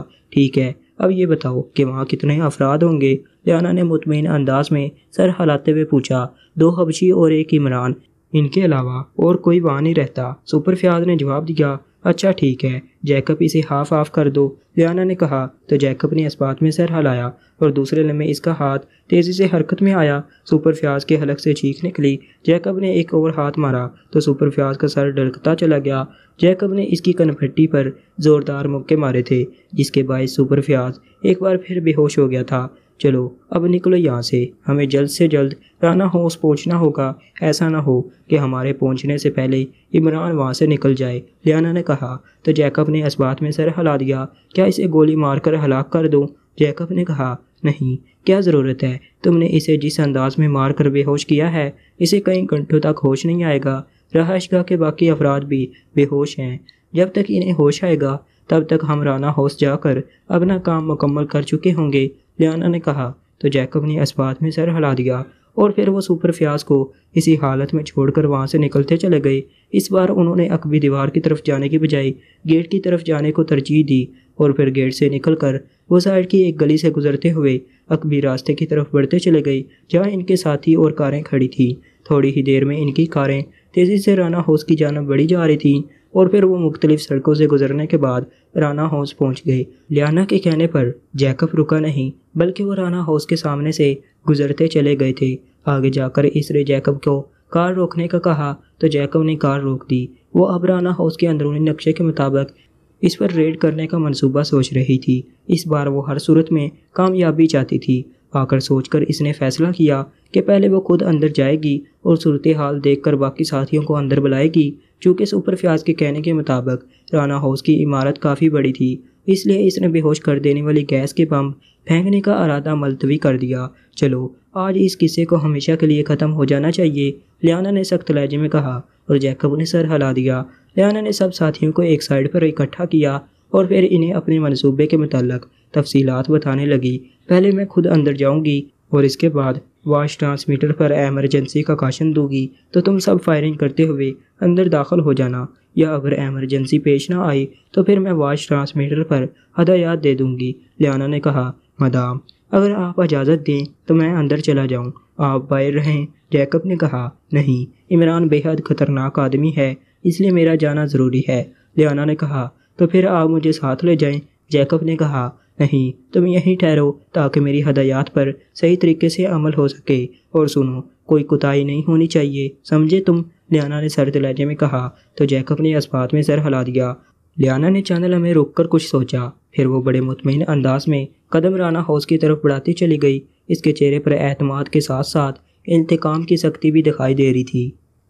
इमरान ने रिसीवर रखा और फिर मुस्कुराते हुए वो वापस अपने कमरे की तरफ़ बढ़ता चला गया। आज दानिश मंजिल से वो फ्लैट पर जाने के बजाय राना हाउस में आ गया था, क्योंकि इसे यकीन था कि इसके फ्लैट की अब भी यकीनी तौर पर निगरानी की जा रही होगी। अलबत् इसने ब्लैक ज़ीरो को कह दिया था कि वह सुबह होते ही मम्बरान के ज़रिए लियाना को तलाश करने की कोशिश करे। दूसरा, इसे टाइगर की तरफ़ से किसी इतला का इंतज़ार था, जिसे इसने खसूसी तौर पर एक काम पर लगाया था। इमरान के राना हाउस में आने की वजह से जवाना और जोसेफ। दोनों की तो जैसे ईद हो गई थी। और हसब सबक, जवाना और जोसेफ ने इमरान से गिला करना शुरू कर दिया कि वो फारग बैठे बैठे बोर हो गए हैं। जिस वक्त सुपर फ्याज का फ़ोन आया, इस वक्त इमरान इनके साथ बैठा मनसूबा बना रहा था कि इन्हें मसरूफ़ रखने के लिए क्या किया जाए। बताएँ बास आखिर हम क्या करें कि हमारी बोरियत दूर हो और हम भी आपकी तरह मसरूफ़ रह सकें? जोसेफ ने इमरान की तरफ़ गौर से देखते हुए कहा, मैं सोच रहा हूँ कि तुम्हें मैं किसी ऐसी तंजीम के पीछे लगा दूँ, जो मुल्क दुश्मन होने के साथ साथ मुल्क की नौजवान नस्ल की रगों में अंधेरा भरने का काम कर रही है। इमरान ने सोचते हुए कहा, रगों में अंधेरा? मैं समझा नहीं, मास्टर। जवाना ने हैरत भरे लहजे में कहा, नशा, एक ऐसा जहर, जो आज की नौजवान नस्ल की रगों में जहर बनकर तोड़ रहा है और इन्हें तबाही के रास्ते पर डाल रहा है। ये गनौना काम पेशावर और बदमाश टाइप अफराद करते हैं, ताकि मुल्क की आने वाली नस्ल को कमज़ोर जहनी सलाहियतों से मजूर और पसमानदा बना सकें और एक वक्त ऐसा आए कि पाकिया की नौजवान नस्ल ऐसी हालत में पहुँच जाएगी कि किसी किस्म की जद्दोजहद और मुल्क के मफाद में कोई काम करने की बजाय मौत कबूल करने को तरजीह देगी और इस मौका का फ़ायदा उठाकर पाकिया के हरीफ पाकिया पर अपना तसलत कायम कर लेंगे और पाकिया को मुकम्मल तौर पर दबाव बर्बाद करके रख देंगे। इमरान ने संजीदगी से कहा ओ पाकिया में ऐसी कौन सी तंजीम है जो पाकिया की नौजवान नस्ल की रगों में जहर उतार रही है? जोसेफ ने कहा, इस तंजीम का नाम है रेड वाटर। इमरान ने मुस्कुराते हुए कहा, रेड वाटर? जोसेफ ने कहा हाँ रेड वाटर एक तंजीम का नाम है जो पाकिया में तेज़ी से अपने पाँव फैला रही है और इसके बारे में रिपोर्ट मिली है कि ये एक नए किस्म का नशा बना रही है, जो आम नशों से कहीं ज़्यादा ताकतवर और ख़तरनाक असरात का हामल है और इसके साथ साथ तुमने स्मगलरों के खिलाफ भी काम करना है क्योंकि सिगरेट सर्विस का फ़ील्ड स्मगलिंग का नहीं है, इसलिए मैं बर रास्त इसमें मदाखलत नहीं कर सकता और दूसरा मुझे फुर्सत भी नहीं मिलती।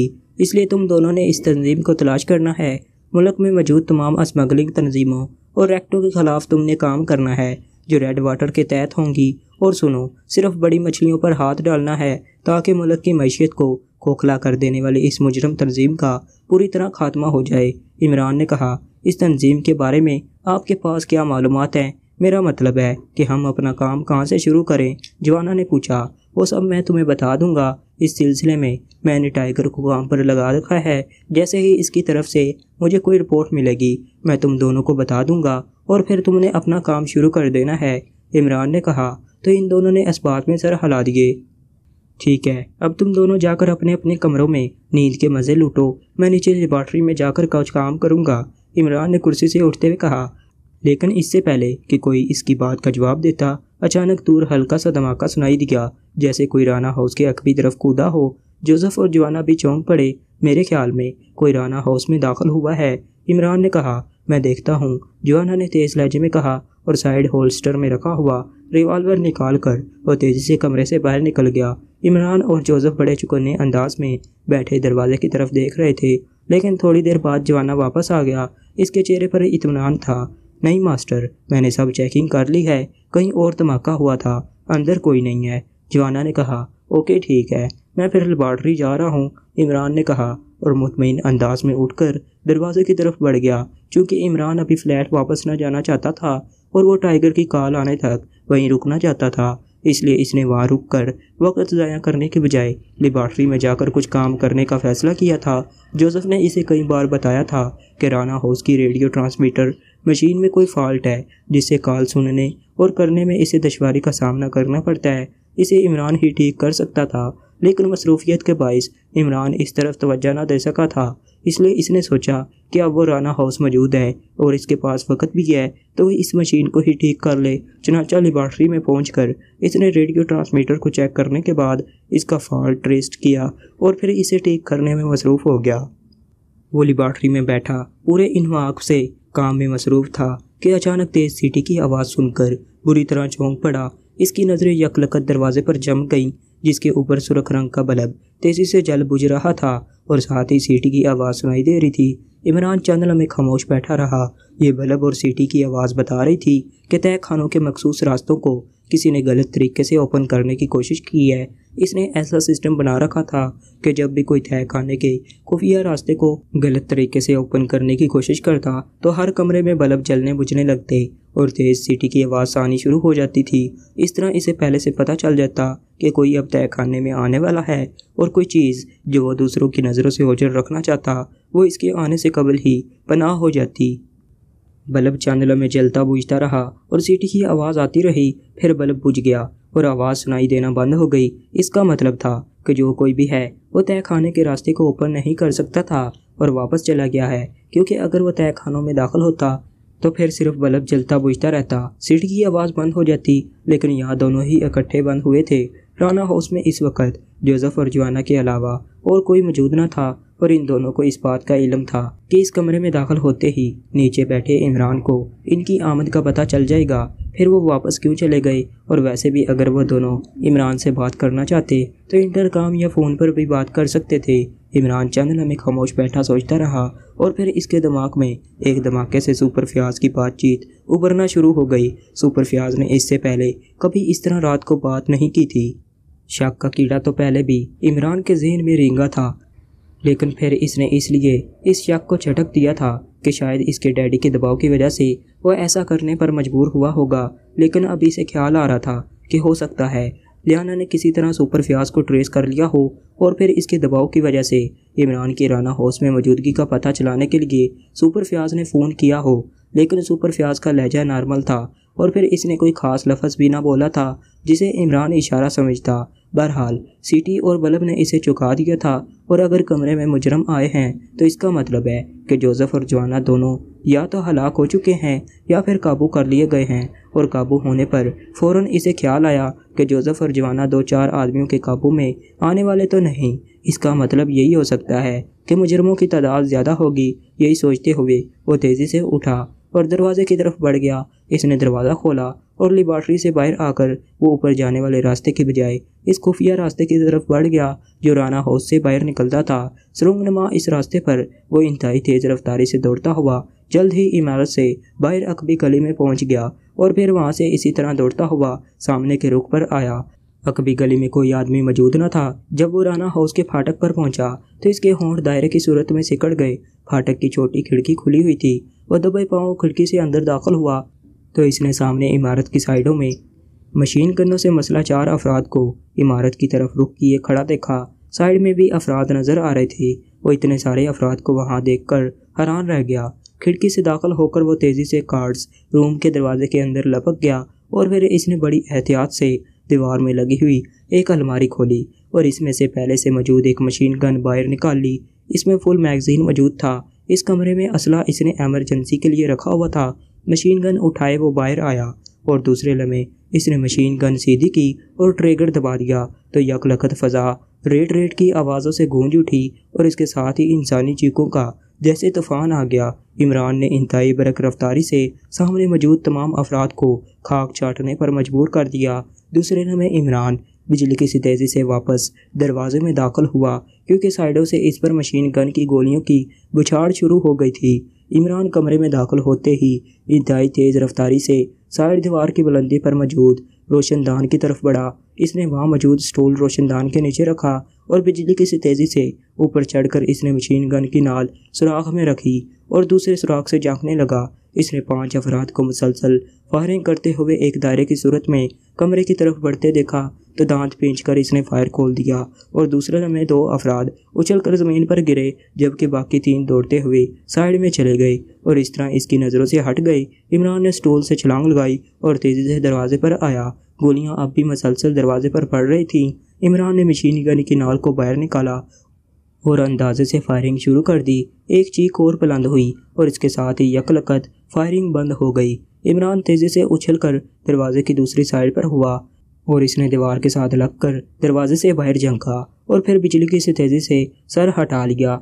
एक लम्हे का वक्फा रहा, वरना इस बार इसकी खोपड़ी मशीन गन की गोलियों के जद में आ जाती।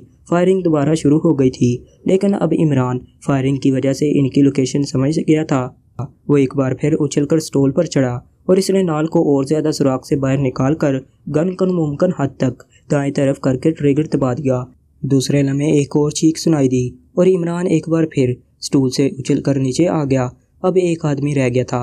नीचे आते ही इसने दरवाजे की आड़ से फायरिंग शुरू की, लेकिन अब दूसरी तरफ़ से फायरिंग बंद हो गई थी। इमरान यकलकत उछला और जैसे अकाब किसी परिंदे पर झपटता है, इस तरह उड़ता हुआ वो दरवाजे से बाहर फर्श पर आ गिरा और फिर इंतई तेज़ी से करवटें बदलता हुआ फाटक के स्तून की आड़ में हो गया। उसी लम्हे एक खौफनाक धमाका हुआ और पूरा कमरा तिंकों की तरह फ़जा में उड़ता चला गया। अगर इमरान को चंद नमों की देर हो जाती तो कमरे पर फेंके जाने वाले बम ने इसके पुरखशे उड़ा देने थे। इमरान स्तून की आड़ में दबका हुआ था, इसलिए कमरे के मलबे की बारिश से महफूज रहा। उसी लम्हे बम फेंकने वाला एक बड़े गमले की आड़ से निकलकर बेतहाशा कमरे की तरफ़ दौड़ा। इसने शायद इमरान को बाहर निकलते ना देखा था। हो सकता है वो इस वक्त बम निकाल रहा हो और इसी एक लम्हे में इमरान बाहर निकल आया था। यकीनन यही वजह थी कि बम फेंकने वाला कमरे के दबाव होते ही बेफिक्र होकर आड़ से बाहर निकल आया था। वो शायद अभी इमरान की लाश के टुकड़े इकट्ठे करने के लिए आ रहा था, ताकि इसे लियाना के सामने पेश करके अपनी फतह का सबूत दे सके। लेकिन इसके बाहर निकलते ही इमरान ने ट्रेकर दबा दिया और दूसरे लम्हे वो आदमी किसी लट्टू की तरह घूमा और फिर नीचे गिरकर चंद में तड़पने के बाद साख्त हो गया। बिला दर्जनों गोलियाँ इसके जिसम में दाखिल हो गई थीं। अब मैदान साफ़ था। इमरान उठकर दौड़ता हुआ इमारत की तरफ़ बढ़ा। इसे अभी तक अंदर के हालात का इलम ही ना था। इसलिए वो एहतियात से दौड़ता हुआ असल इमारत की तरफ़ बढ़ा। इसके होंठ पिचे हुए थे और आँखों से शोले से निकल रहे थे, क्योंकि अंदर खामोशी का मतलब यही हो सकता था कि जोसेफ और जवाना दोनों वाकई हलाक हो चुके हैं। यही वजह थी कि नौ लाशें गिराने के बावजूद इमरान का गुस्सा और वहशत अपने अरूज पर थी, क्योंकि इतना इसने एक ही नज़र में देख लिया था कि इन नौ अफराद में लियाना मौजूद न थी। लियाना राना हाउस के अकबी तरफ़ पहुंचकर रुक गई। राना हाउस की दीवारें किसी किले की तरह ऊँची और मज़बूत थीं। असल इमारत दरमियान में थी। सामने और अकबी तरफ़ लान थे। लियाना चैनल में तो इर्द गिर्द का जायज़ा लिया और फिर अचानक इसे अंदर जाने की एक तरकीब सूझ गई। मलहक्का अमारत की अकबी दीवार छोटी थी, जबकि इस अमारत का एक शेड राना हाउस की साइड में खासी हद तक झुका हुआ था। लियाना मलहक्का अमारत की दीवार पर चढ़ी और फिर आहिस्ता से दूसरी तरफ़ कूद गई। ये अमारत कोई दफ्तर सा लग रही थी। चैनल में वो दीवार के साथ दबकी रही, लेकिन जब इसके नीचे कूदने का कोई रद्द अमल ना हुआ तो वह आहिस्ता से उठी और इमारत की अकबी साइड पर पहुंचकर इसने एक पाइप के ज़रिए ऊपर जाने का फ़ैसला किया। ये पाइप इस शेड के बिल्कुल नज़दीक था, जो राना हाउस की तरफ़ झुका हुआ था। लियाना चंद ही लम्हों में बड़ी फिरती से पाइप पर चढ़ती चली गई। लेकिन शेड तक पहुँचने से पहले ही इसे तेज़ी से अपना सर झुकाना पड़ा, क्योंकि एक देव कामत स्याफाम हाथ में रिवाल्वर पकड़े। राना हाउस की अकबी तरफ़ घूम फिर रहा था। इसका अंदाज ऐसा था, जैसे वो चेकिंग कर रहा हो। स्याफाम इंतहाई जसीम और देव कामत था। लियाना पाइप से चिपकी इसे सर उठा उठा कर देखती रही। कुछ देर घूमने फिरने के बाद वो स्याफाम अमारत के फ्रंट की तरफ़ चला गया तो लियाना ऊपर चढ़कर शेड पर आ गई। एहतियात से शेड पर चलती हुई वो इसके किनारे तक पहुँच गई। यहाँ से राना हाउस की ज़मीन ज़्यादा से ज़्यादा बारह फुट नीचे थी। इसने एक लम्हे के लिए इधर उधर देखा। और फिर वो शेड के किनारे को दोनों हाथों से पकड़कर लटक गई। इसका कंध लब्बा था, इसने आहिस्ता से हाथ छोड़ दिए और दूसरे लम्हे बिल्कुल मामूली से धमाके से इसके कदम ज़मीन पर जम गए। कदम ज़मीन पर पड़ते ही वो तेज़ी से एक बाढ़ के पीछे दबक गई, लेकिन शायद इस बार धमाका इतना हल्का था कि इसकी आवाज़ किसी ने ना सुनी थी, इसलिए कोई रद्द अमल ना हुआ। लियाना का चूँकि रोना हाउस के अंदरूनी हिस्से के मतलब मालूम हासिल थीं, इसलिए वो बाढ़ के पीछे से निकली और एहतियात से चलती हुई साइड में आगे बढ़ती हुई इमारत के सामने के रुख पर आ गई। इसने जैकेट के अंदर कांधे से लटकी हुई मशीन गन हाथ में ले ली थी और वो पूरी तरह चुकन्नी थी। वो दीवार की साइड में दबकी सामने के रुख का काफ़ी देर तक जायज़ा लेती रही। पोर्च में दो कारें मौजूद थीं, लेकिन वहाँ कोई आदमी मौजूद ना था। जब इसे तसल्ली हो गई कि सामने के रुख कोई आदमी मौजूद नहीं है तो वह आहिस्ता आहिस्ता चलती हुई फाटक की तरफ़ बढ़ गई। वो दीवार के साथ लगकर चल रही थी और इसकी नज़रें सर्च लाइट्स की तरह हर तरफ़ घूम रही थीं। थोड़ी देर में वो फाटक के करीब पहुँच गई। इसने बड़ी आस्तगी से फाटक की जेली खिड़की की कुंडी खोली और फिर खिड़की खोलकर वो बाहर निकल आई। इसने बाहर आकर जेब से एक छोटा, मगर जदीद साख्त का ट्रांसमीटर निकाला और इसे ऑन करके इस पर जैकब को कॉल देने लगी। ये ट्रांसमीटर फिक्स्ड फ्रिक्वेंसी का था, इसलिए जल्द ही इसका जैकब से रबता हो गया। यस जैकब स्पीकिंग ओवर चंद लम्हों बाद ही जैकब की आवाज़ सुनाई दी। जैकब, मैं लियाना बोल रही हूँ। मैंने अंदर दाखिल होकर अंदर से फाटक की जेली खिड़की खोल दी है और अब मैं बाहर मौजूद हूँ। तीनों अफराद इमारत के अंदरूनी कमरों में हैं। तुम अपने साथियों को लेकर इंतहाई एहतियात से खिड़की के रास्ते अंदर आ जाओ। फिर हम इमारत के अंदर दाखिल होंगे, जबकि बाकी अफराद चारों तरफ़ फैल कर निगरानी करेंगे। फिर जैसे ही फायरिंग हो तो वो सब फायरिंग करते हुए इमारत के अंदर दाखिल हो जाएँगे। इसके बाद जो नज़र आए, इसे गोलियों से भून डालना, ओवर। लियाना ने जैकब को तफसीली हदायत देते हुए कहा, लेकिन मादाम, तीन अफराद को तो बगैर फायरिंग के हम काबू में कर सकते हैं, क्योंकि ये एक इंतहाई गुंजान इलाका है। अगर फायरिंग हुई तो फ़ौर ही पुलिस यहाँ पहुँच जाएगी। ओवर। जैकब ने कहा, तुम्हारी बात दुरुस्त है। मैंने इमरान को अपने हाथों से हलाक करना है, इसलिए ठीक है। हम कोशिश करेंगे कि बगैर फायरिंग के काम चल जाए, लेकिन एमरजेंसी में फायरिंग की भी इजाज़त है। इसके बाद जो होगा देखा जाएगा। ओवर, लियाना ने कहा, यस मादाम हम आ रहे हैं। ओवर, जैकब ने कहा, और लियाना ने ओवर एंड ऑल कहकर ट्रांसमीटर ऑफ़ कर दिया, और इसके बाद वह दोबारा खिड़की में दाखिल होकर साइड में खड़ी हो गई। इसने खिड़की खोल दी थी। चंद बाद बाहर से जैकब की शक्ल नज़र आई और फिर वो अंदर आ गया। इसके बाद बाकी साथी भी एक एक करके अंदर दाखिल होते रहे और दीवार के साथ साथ खड़े हो गए। जब जैकब के अलावा दस अफराद अंदर दाखिल हो गए तो लियाना ने जैकब और एक और आदमी को अपने साथ चलने का इशारा किया और बाकी को फैल जाने का हुक्म दिया। जैकब शायद पहले ही इन्हें तफसीली हदायत दे चुका था, इसलिए वह सब इमारत के गिर्द फैलते चले गए। वो सब हर मुमकिन एहतियात बरत रहे थे। चार अफराद अकबी तरफ़ को चले गए, जबकि चार अफराज साइडों में रुक गए और एक आदमी फ्रंट की तरफ़ चला गया। जैकब और इसका एक साथी बरामदे की तरफ़ बढ़ गए। बरामदे के दरमियान में एक तोहील रादारी थी, जिसमें रोशनी थी और एक कमरे के दरवाजे से रोशनी बाहर रादारी में पड़ रही थी। लियाना, जैकब और इसका साथी आहिस्ता आहिस्ता चलते हुए दरवाजे तक पहुँचे और फिर लियाना ने ज़रा सा आगे होकर कमरे के अंदर झांका तो इसने दोनों से आफामों को एक मेज़ के गिर्द कुर्सियों पर बैठे देखा। दोनों आपस में बातें कर रहे थे। लियाना ने जैकब और अपने दूसरे साथी को इशारा किया और दूसरे लम्हे, वो सब उछल कर ना सिर्फ़ कमरे में दाखिल हुए, बल्कि तेज़ी से फैल गए।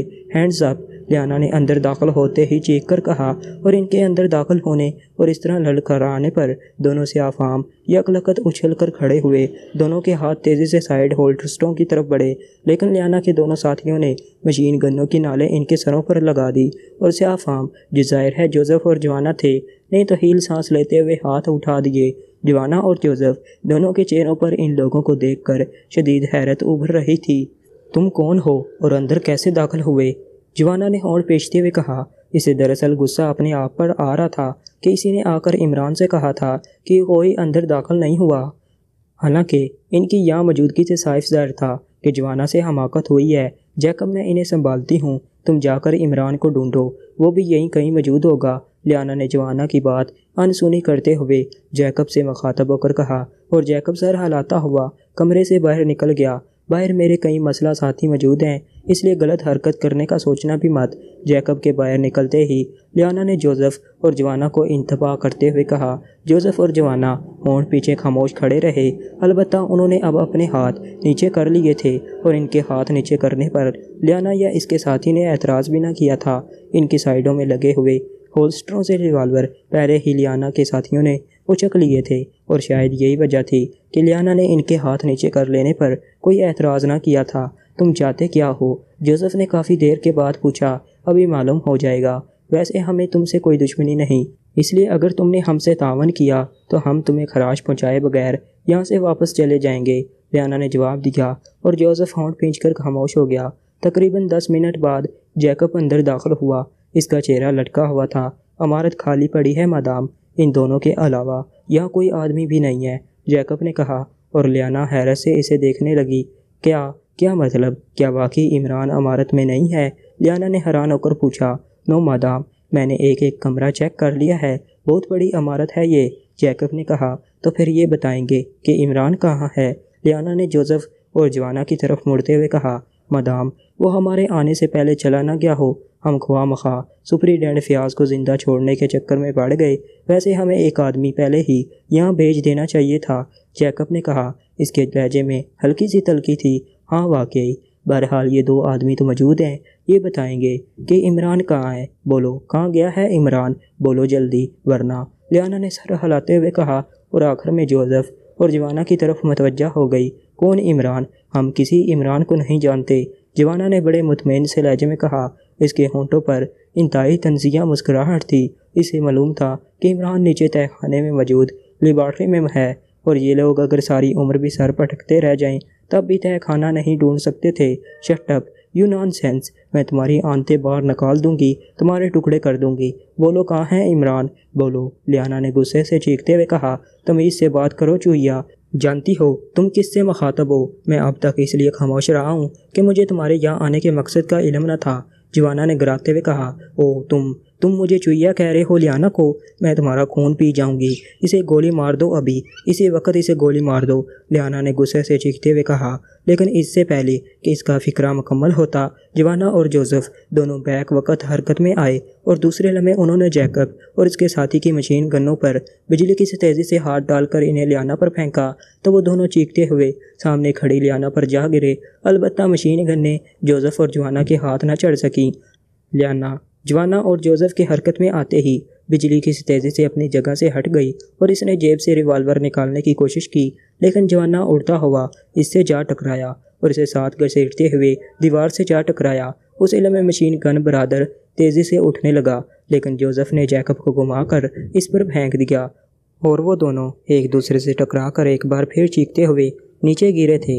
लेकिन लियाना जवाना के साथ घसीटती हुई जैसे दीवार से टकराई वो चिकनी मछली की तरह नीचे फर्श पर गिरी और जवाना की टांगों के दरमियान से निकल जाने में कामयाब हो गई। जवाना इसके निकलते ही बिजली की तेज़ी से मुड़ा, लेकिन उसी लम्हे लियाना ने उछल कर पूरी कुत से सर की टक्कर मारते हुए जवाना की नाव के नीचे मारी और जवाना जो तेज़ी से मुड़ रहा था, पूरी कुत से मारी गई। इस टक्कर से तोज़न कायम न रख सका और लड़खड़ा कर पुश्त के बल ज़मीन पर गिरा। इसके नीचे गिरते ही लियाना ने उछल कर जवाना के सीने पर दोनों पैर मारने चाहे लेकिन जवाना की लात तेज़ी से घूम कर इसकी कमर पर लगी और वो चीखती हुई कलाबाजी खाकर पिछली दीवार से टकराई। जैकब और मशीन गन ब्रादर के नीचे गिरते ही जोसेफ ने छलांग लगाई और दूसरे लम्हे एक मशीन गन इसके हाथ में आ गई और फिर वो कमरा रेठ रेठ की आवाज़ों के साथ ही जैकब और इसके साथी की चीखों से गूंज उठा।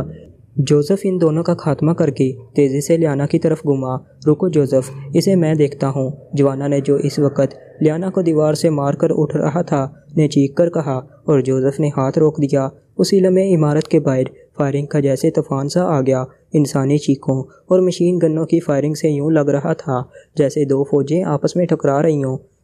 जोसेफ ये आवाज़ें सुनते ही तेज़ी से दरवाजे की तरफ़ लपका, लेकिन उसी लम्हे लियाना दीवार से टकरा कर किसी गेंद की तरह वापस हुई और इस बार दरवाजे की तरफ़ लपकते हुए, जोसेफ से टकराते हुए जब फर्श पर गिरी तो हैरत अंगेज तौर पर जोसेफ के हाथ में पकड़ी हुई मशीन गन इसके हाथों में पहुँच चुकी थी।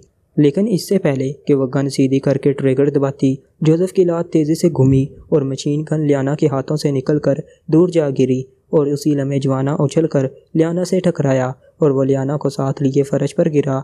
लियाना ने नीचे गिरते ही दोनों घुटने जोड़कर जवाना को मार दिए और जवाना जैसे लहीम शहीम आदमी घुटनों की ज़रब खाकर साइड में गिर गया और फिर वो दोनों वही बैक वक़्त उठ खड़े हुए। लेकिन फिर लियाना की शामती आ गई। जवाना का राइट हक पूरी कुत से इसकी कनपट्टी से टकराया और वो उछल कर जवाना की तरफ़ झुकी ही थी कि जवाना ने लट्टू की तरह घूम कर पूरी कुत से लात इसके पहलू में मारी और लियाना चीखती हुई साइड की दीवार से पूरी कुत से जा टकराई। इस बार वो अपने हाथ आगे करके अपने आप को ना रोक सकी थी, इसलिए इसका सर दीवार से टकराया और वो रेत के खाली होते हुए बोरे की तरह फर्श पर रेर हो गई। ताकत के पहाड़ों से वो मखनी सी लड़की भला अब तक टकरा सकती थी? इसने अपनी पूरी कोशिश की थी, लेकिन बहरहाल, जोसेफ और जवाना के मुकाबले में वो एक नन्ही सी गुड़िया थी। वो बेहोश हो चुकी थी। उसी लम्हे बाहर एक खौफनाक धमाका हुआ और धमाके की बाज गश्त अभी ख़त्म ना हुई थी कि मशीन गन चलने की आवाज़ उभरी। इस बार मशीन गन का एक ही बरस्ट मारा गया था और फिर बाहर खामोशी तारी हो गई। जोसेफ एक बार फिर तेज़ी से कमरे में मौजूद। दूसरी मशीन गन की तरफ़ झपटा और मशीन गन उठाकर बरूनी दरवाजे की तरफ़ मुड़ गया। इधर जवाना लियाना के नीचे गिरते ही तेज़ी से इसकी तरफ़ लपका।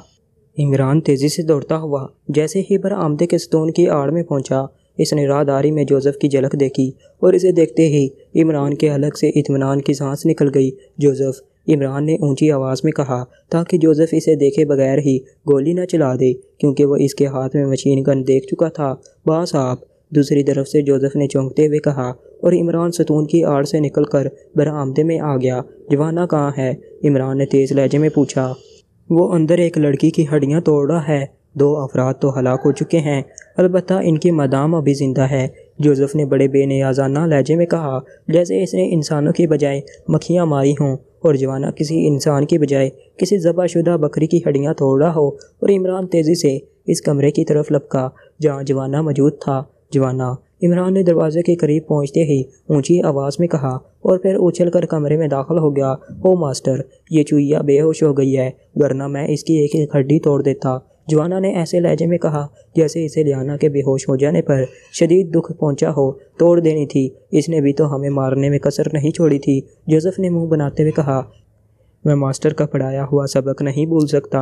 जोसेफ, के बेहोश अफराद पर हाथ डालना बुजदली होती है वरना मास्टर से मिलने से पहले मैं बेहोश अफराद तो एक तरफ़, दुश्मनों के मर जाने के बावजूद मेरा इंतकाम पूरा ना होता था। जब तक मैं इनकी लाश को अपने कदमों से ना रोन देता, जवाना ने बुरा सा मुँह बनाते हुए कहा वेल डन अच्छे बच्चे, इसी तरह सबक याद रखते हैं। अगर तुम इसी तरह सबक याद करते रहे तो जल्द ही मैट्रिक पास कर जाओगे। इमरान ने मुस्कराते हुए कहा, और फिर वो आगे बढ़ा और इसने दीवार की तरफ़ मुँह किए। फर्श पर पड़ी लियाना को पलटा दिया। तुम्हारे लिए डबल वेल डन ये असल औरत है। इसका ज़िंदा रहना ज़रूरी था। इमरान ने लियाना को देखते हुए कहा, गो के लियाना ने यहाँ आने से पहले रेडीमेड मेकअप कर लिया था, लेकिन इमरान ने फ़ौरन इसे पहचान लिया था। उसी लम्हे बाहर से पुलिस मोबाइल का तेज़ सायरन सुनाई देने लगा। फायरिंग की आवाज़ें सुनकर शायद वो इस तरफ़ मतवजा हो गए थे, या इलाका मकीनों ने राना हाउस में होने वाले धमाके और फायरिंग के बारे में इतला दी थी।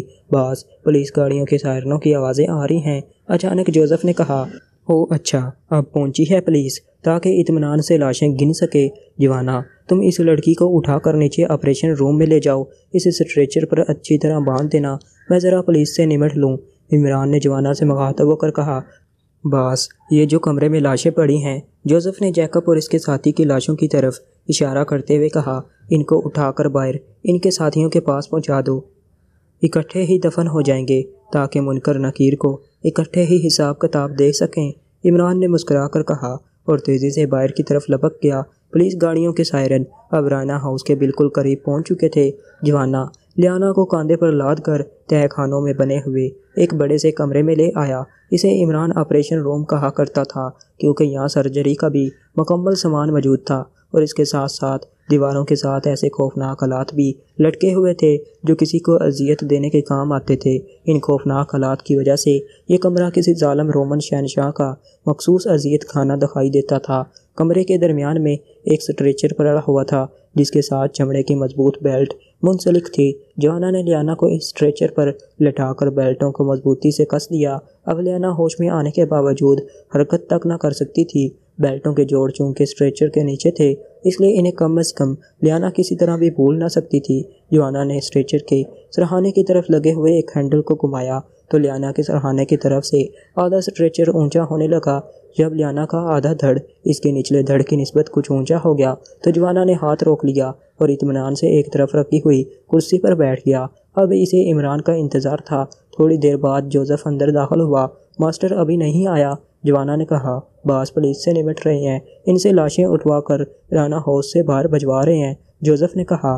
तो जवाना ने सर हिला दिया और फिर कुछ देर बाद इमरान कमरे में दाखिल हुआ। तो उसी लम्हे स्ट्रेचर पर बंधी हुई लियाना को भी होश आ गया और इसने हरकत करने की कोशिश की, लेटे रहो इतमान से लेटे रहो लियाना। इमरान ने इसके करीब जाकर बड़े इतमान भरे लहजे में कहा और लियाना ने इमरान की आवाज़ सुनते ही चौंक कर आँखें खोली और फिर झटके से उठने की कोशिश की, लेकिन ज़ाहिर है इसके जिसम ने इसका साथ देने से इनकार कर दिया। जोसेफ, तुम बाहर जाकर ज़रा ख्याल रखो, ये रास्कल गर्ल है। हो सकता है इसने कोई और ग्रुप भी पाल रखा हो। इमरान ने जोसेफ से कहा, और जोसेफ सर हलाता हुआ दरवाजे की तरफ़ मुड़ गया। मामा, मेरे साथी। लियाना ने बे इख्तियार कसमसाने की कोशिश करते हुए कहा, तुम्हारे सारे के सारे साथी जहन्नम वासल हो चुके हैं। नौ आदमी इमारत से बाहर, लान और साइडों में थे, और दो तुम्हारे साथ अंदर थे। तुम तो मुझे हलाक करने के लिए पूरी फौज उठा कर ले आई थी। इमरान ने करख्त लहजे में कहा ललर लेकिन वो सब कैसे मर गए? वो तो मसला थे, और तुम अकेले लियाना को शायद यकीन ना आ रहा था, क्योंकि जोसेफ और जवाना तो इसके साथ अंदर थे। अगर बाहर था भी तो सिर्फ़ इमरान और अकेला आदमी, नौ मसला और तरबियत याफ्ता आदमियों को कैसे हलाक कर सकता था? जबकि इमरान को खराश तक ना आई थी। बात तो वाकई नाकबले यकीन सी थी। उन्होंने कोशिश तो बहुत की, मशीन गनों के अलावा बम भी मारे। लेकिन बहरहाल, पहले तो ये बताओ कि तुमने सुपर फ्याज को कहाँ से पकड़ा था और इस पर क्या दबाव डाला था कि वो मुझे इस अंदाज में फ़ोन करने पर मजबूर हो गया था? और इसने तुम्हें राना हाउस के बारे में भी बता दिया। इमरान ने बात का रुख बदलते हुए कहा कहा क्या क्या मतलब? क्या तुम्हें मालूम हो गया था कि सुपर फ्याज मेरे दबाव की वजह से फ़ोन कर रहा है? ओह तभी तुम इमारत से गायब होकर किसी जगह छुपे हुए थे, लियाना ने कहा। अगर मुझे पहले मालूम हो जाता तो शायद तुम में से एक भी हलाक ना होता, और सब इस वक्त यहाँ कतार में बंधे पड़े होते। लेकिन मुझे इस वक्त मालूम हुआ, जब तुम सब इमारत में दाखिल हो चुके थे। बहरहाल, तुमने वाकई जहानत से काम लिया। इस जगह का पता सिर्फ़ सुपर फ्याज को ही था। तुमने इसका क्या किया? इमरान ने कहा, वो मेरे साथियों के कब्ज़े में है। अगर मैं सुबह तक वापस न गई तो वो इसकी बोटियाँ उड़ा देंगे। लियाना ने फ़ौरन ही अपनी ज़िंदगी बचाने के लिए इमरान की कमज़ोरी को इस्तेमाल करने की कोशिश की। कोई बात नहीं अच्छा है, उड़ा दें। इसकी बोटियाँ इसका जिसम फैलता जा रहा है और इस तरह इसका फ्लैट भी मेरी मलकियत बन जाएगा। इमरान ने बड़ी बेनियाजी से जवाब दिया तो लियाना के चेहरे पर मायूसी की लहर दौड़ गई और इमरान मुस्कुरा दिया। वो बोला, लियाना के ऐसे नफसियाती दबाव में कहाँ आने वाला था? सुपर फ्याज के मतलब पूछने पर लियाना की आँखों में उभरने वाली चमक से ही इसने इसका जेन पढ़ लिया था और फिर इमरान के जवाब से इसके चेहरे पर छाने वाली मायूसी ने तो सारी कहानी ही ज़ाहिर कर दी थी। मास्टर, सिर्फ़ बातें ही करते रहोगे, जवाना से ना रहा गया तो आखिरकार वो बोल पड़ा कुछ देर तो इसे बोल लेने दो, औरत ज़्यादा है, औरतों का तो काम ही बोलना होता है। फिर तो क्या तक इस बेचारी ने खामोशी रहना है, इतनी भी क्या जल्दी है? इतमान से भेजेंगे इसे मुल्क अदम की तरफ़। इमरान ने मुस्कुराते हुए कहा, सुनो इमरान, ये ठीक है कि मेरा खेल ख़त्म हो गया है, मेरा एक नहीं, दो ग्रुप ख़त्म हो गए हैं, और मैं यहाँ बेबस पड़ी हूँ। तुमने मेरे शोर विलियम को भी हलाक कर दिया है, इसके बावजूद तुम ज़िंदा सलामत खड़े हो। लेकिन अगर तुम में इंसानियत की कोई रमक है तो लड़की समझकर मेरी एक आखिरी ख्वाहिश पूरी कर दो, लियाना ने बड़े संजीदा लहजे में कहा। सॉरी, मुझमें रमक नाम की कोई चीज़ मौजूद नहीं है। अगर तुम ज़िंदगी चाहती हो तो ऐसा नहीं हो सकता। अलबत्त तुम मेरे साथ सौदा कर लो, जो कुछ पूछो, इसका सही जवाब दे दो। फिर मैं सोचूँगा कि तुम्हें ज़िंदा रखा जाए या नहीं। इमरान का लहजा बेहद सर्द था। हूँ, तुम गलत समझ रहे हो। मैं ज़िंदगी की भीख नहीं मांग रही, और ना मैंने कभी किसी से ऐसी भीख मांगी है। मैं हज़ारों नहीं, करोड़ों बार मौत के मुँह से निकली हूँ। मैंने लाखों बार मौत की मज़ा चक कर इसे थूक दिया है। मैं इसराइली ब्लैक हाक एजेंसी की टॉप लेडी एजेंट थी। मौत तो मुझसे मुँह छुपा कर निकल जाती थी, इसलिए मैं अब भी मौत से नहीं डरती। इसने बहरहाल एक दिन आना ही है। मैं सिर्फ़ इतना चाहती थी कि मेरी मौत बुजतलों जैसी ना हो। मैं बहादुरों की तरह लड़ती हुई मरना चाहती हूँ।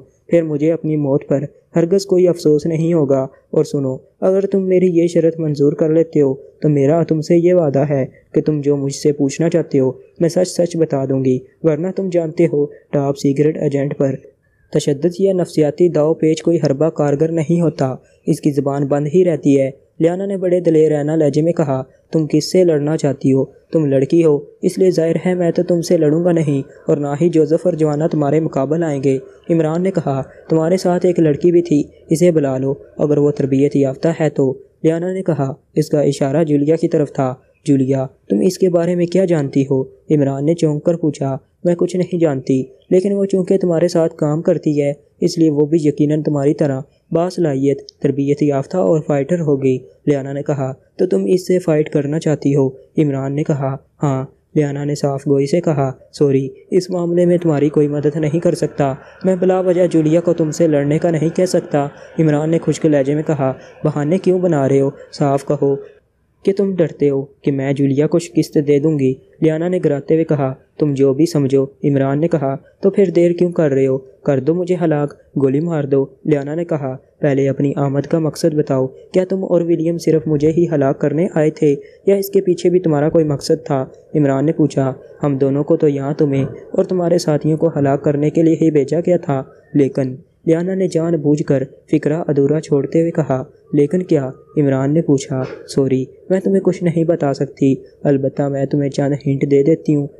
ऐसे हिंट जिन्हें सुनकर शायद तुम्हारे होश उड़ जाएँगे। लियाना ने मुस्कराते हुए कहा, क्या हिंट है? इमरान ने पूछा वाटर लाइट के बारे में जानते हो?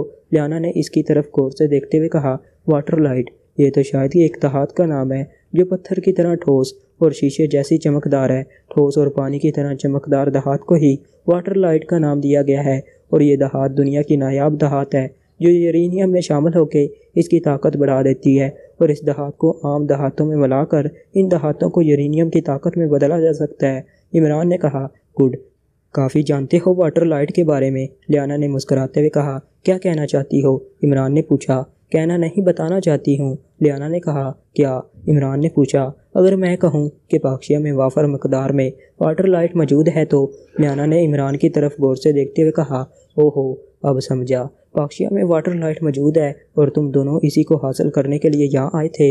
इमरान ने बुरी तरह से चौंकते हुए कहा, तुम्हारी पहली बात दुरुस्त है। यहाँ वाकई वाटर लाइट का बड़ा ज़ख़ीरा मौजूद है, जो एक सदी तक इस्तेमाल हो सकता है, लेकिन तुम्हारी दूसरी बात दुरुस्त नहीं है। मैं और विलियम वाटर लाइट के लिए ही नहीं, बल्कि तुम्हें और तुम्हारे साथियों को उलझाने के लिए आए थे। यहाँ मज़ीद ब्लैक हाक मौजूद हैं, जो वाटर लाइट प्रोजेक्ट पर काम कर रहे हैं। और इसे पहाड़ों की गहराइयों से निकाल रहे हैं। वो इतमान से अपना काम करते रहे और सारा वाटर लाइट निकाल कर खुफिया तौर पर इसराइल मुंतकिल कर दिए। इसलिए चीफ ने तुम्हें और पाक्षिया सिगरेट सर्विस को उलझाने के लिए हम दोनों को यहाँ भेज दिया। हम दोनों तुम्हें और पाक्षिया सिगरेट सर्विस के एजेंटों को हलाक करना चाहते थे। इस मकसद में तो हम कामयाब ना हो सके, लेकिन चीफ ने हमें जो टास्क दिया था, इसमें हमने कामयाबी हासिल कर ली है। तुम और तुम्हारे साथी मसलसल हमारे पीछे भाग तोड़ कर रहे हो और इधर दूसरे ब्लैक हाक अपना काम कर रहे हैं। बल्कि अब तक उन्होंने अपना काम मुकम्मल भी कर लिया होगा और वाटर लाइट पक्षिया से निकालकर इसराइल तरसील करनी शुरू हो करती होगी। तुमने विलियम को हलाक कर दिया और मुझे भी अपनी गिरफ्त में ले लिया है, इमरान। लेकिन तुम जीत कर भी हार गए हो। जीत ब्लैक हाक की हुई है, सिर्फ़ ब्लैक हाक की, लियाना ने कहा। इसकी बातें सुनकर इमरान के दिमाग में चूंटियाँ सी रेंगनी शुरू हो गई थी। वो लियाना की तरफ़ गौर से देख रहा था। लियाना इससे जिस अंदाज में बात कर रही थी, इससे इमरान को बखूबी अंदाज़ा हो रहा था। कि वो सच बोल रही है। और ये पहला मौका था कि इमरान वाकई ला इलम रहा था कि पाकिया में वाटर लाइट जैसी कीमती और नायाब दहात मौजूद है, जिसे इसराइली एजेंटों ने न सिर्फ़ ट्रेस कर लिया है, बल्कि इसे पहाड़ियों के नीचे से निकाल कर इसराइल पहुँचा रहे हैं। और इमरान और इसके साथी ब्लैक हाक एजेंटों से अपनी जानें बचाने और इन्हें पकड़ने के लिए इनके ही पीछे लगे रह गए थे। वाटर लाइट पाकिया में कहाँ दरियाफ्त हुई है, इमरान ने गिराते हुए कहा मैं नहीं जानती। लियाना ने कहा तो इमरान ने बे इख्तियार होने पिछ तुमने खुद ही अपनी ज़बान खोल दी है लियाना। अब तुमने आधी बात बता दी है तो तुम्हारे लिए यही बेहतर होगा कि बाकी बात भी बता दो। वरना इमरान ने इंतहाई सरद लहजे में कहा, कुछ भी कर लो इमरान। अब मेरी मौत यकीनी है, और जब मुझे मौत ही मिलनी है तो फिर मैं क्यों खोलूँ अपनी ज़बान? लियाना ने कहा, जब तक तुम वाटर लाइट के बारे में सब कुछ नहीं उगल देती, मैं तुम्हें मरने नहीं दूँगा।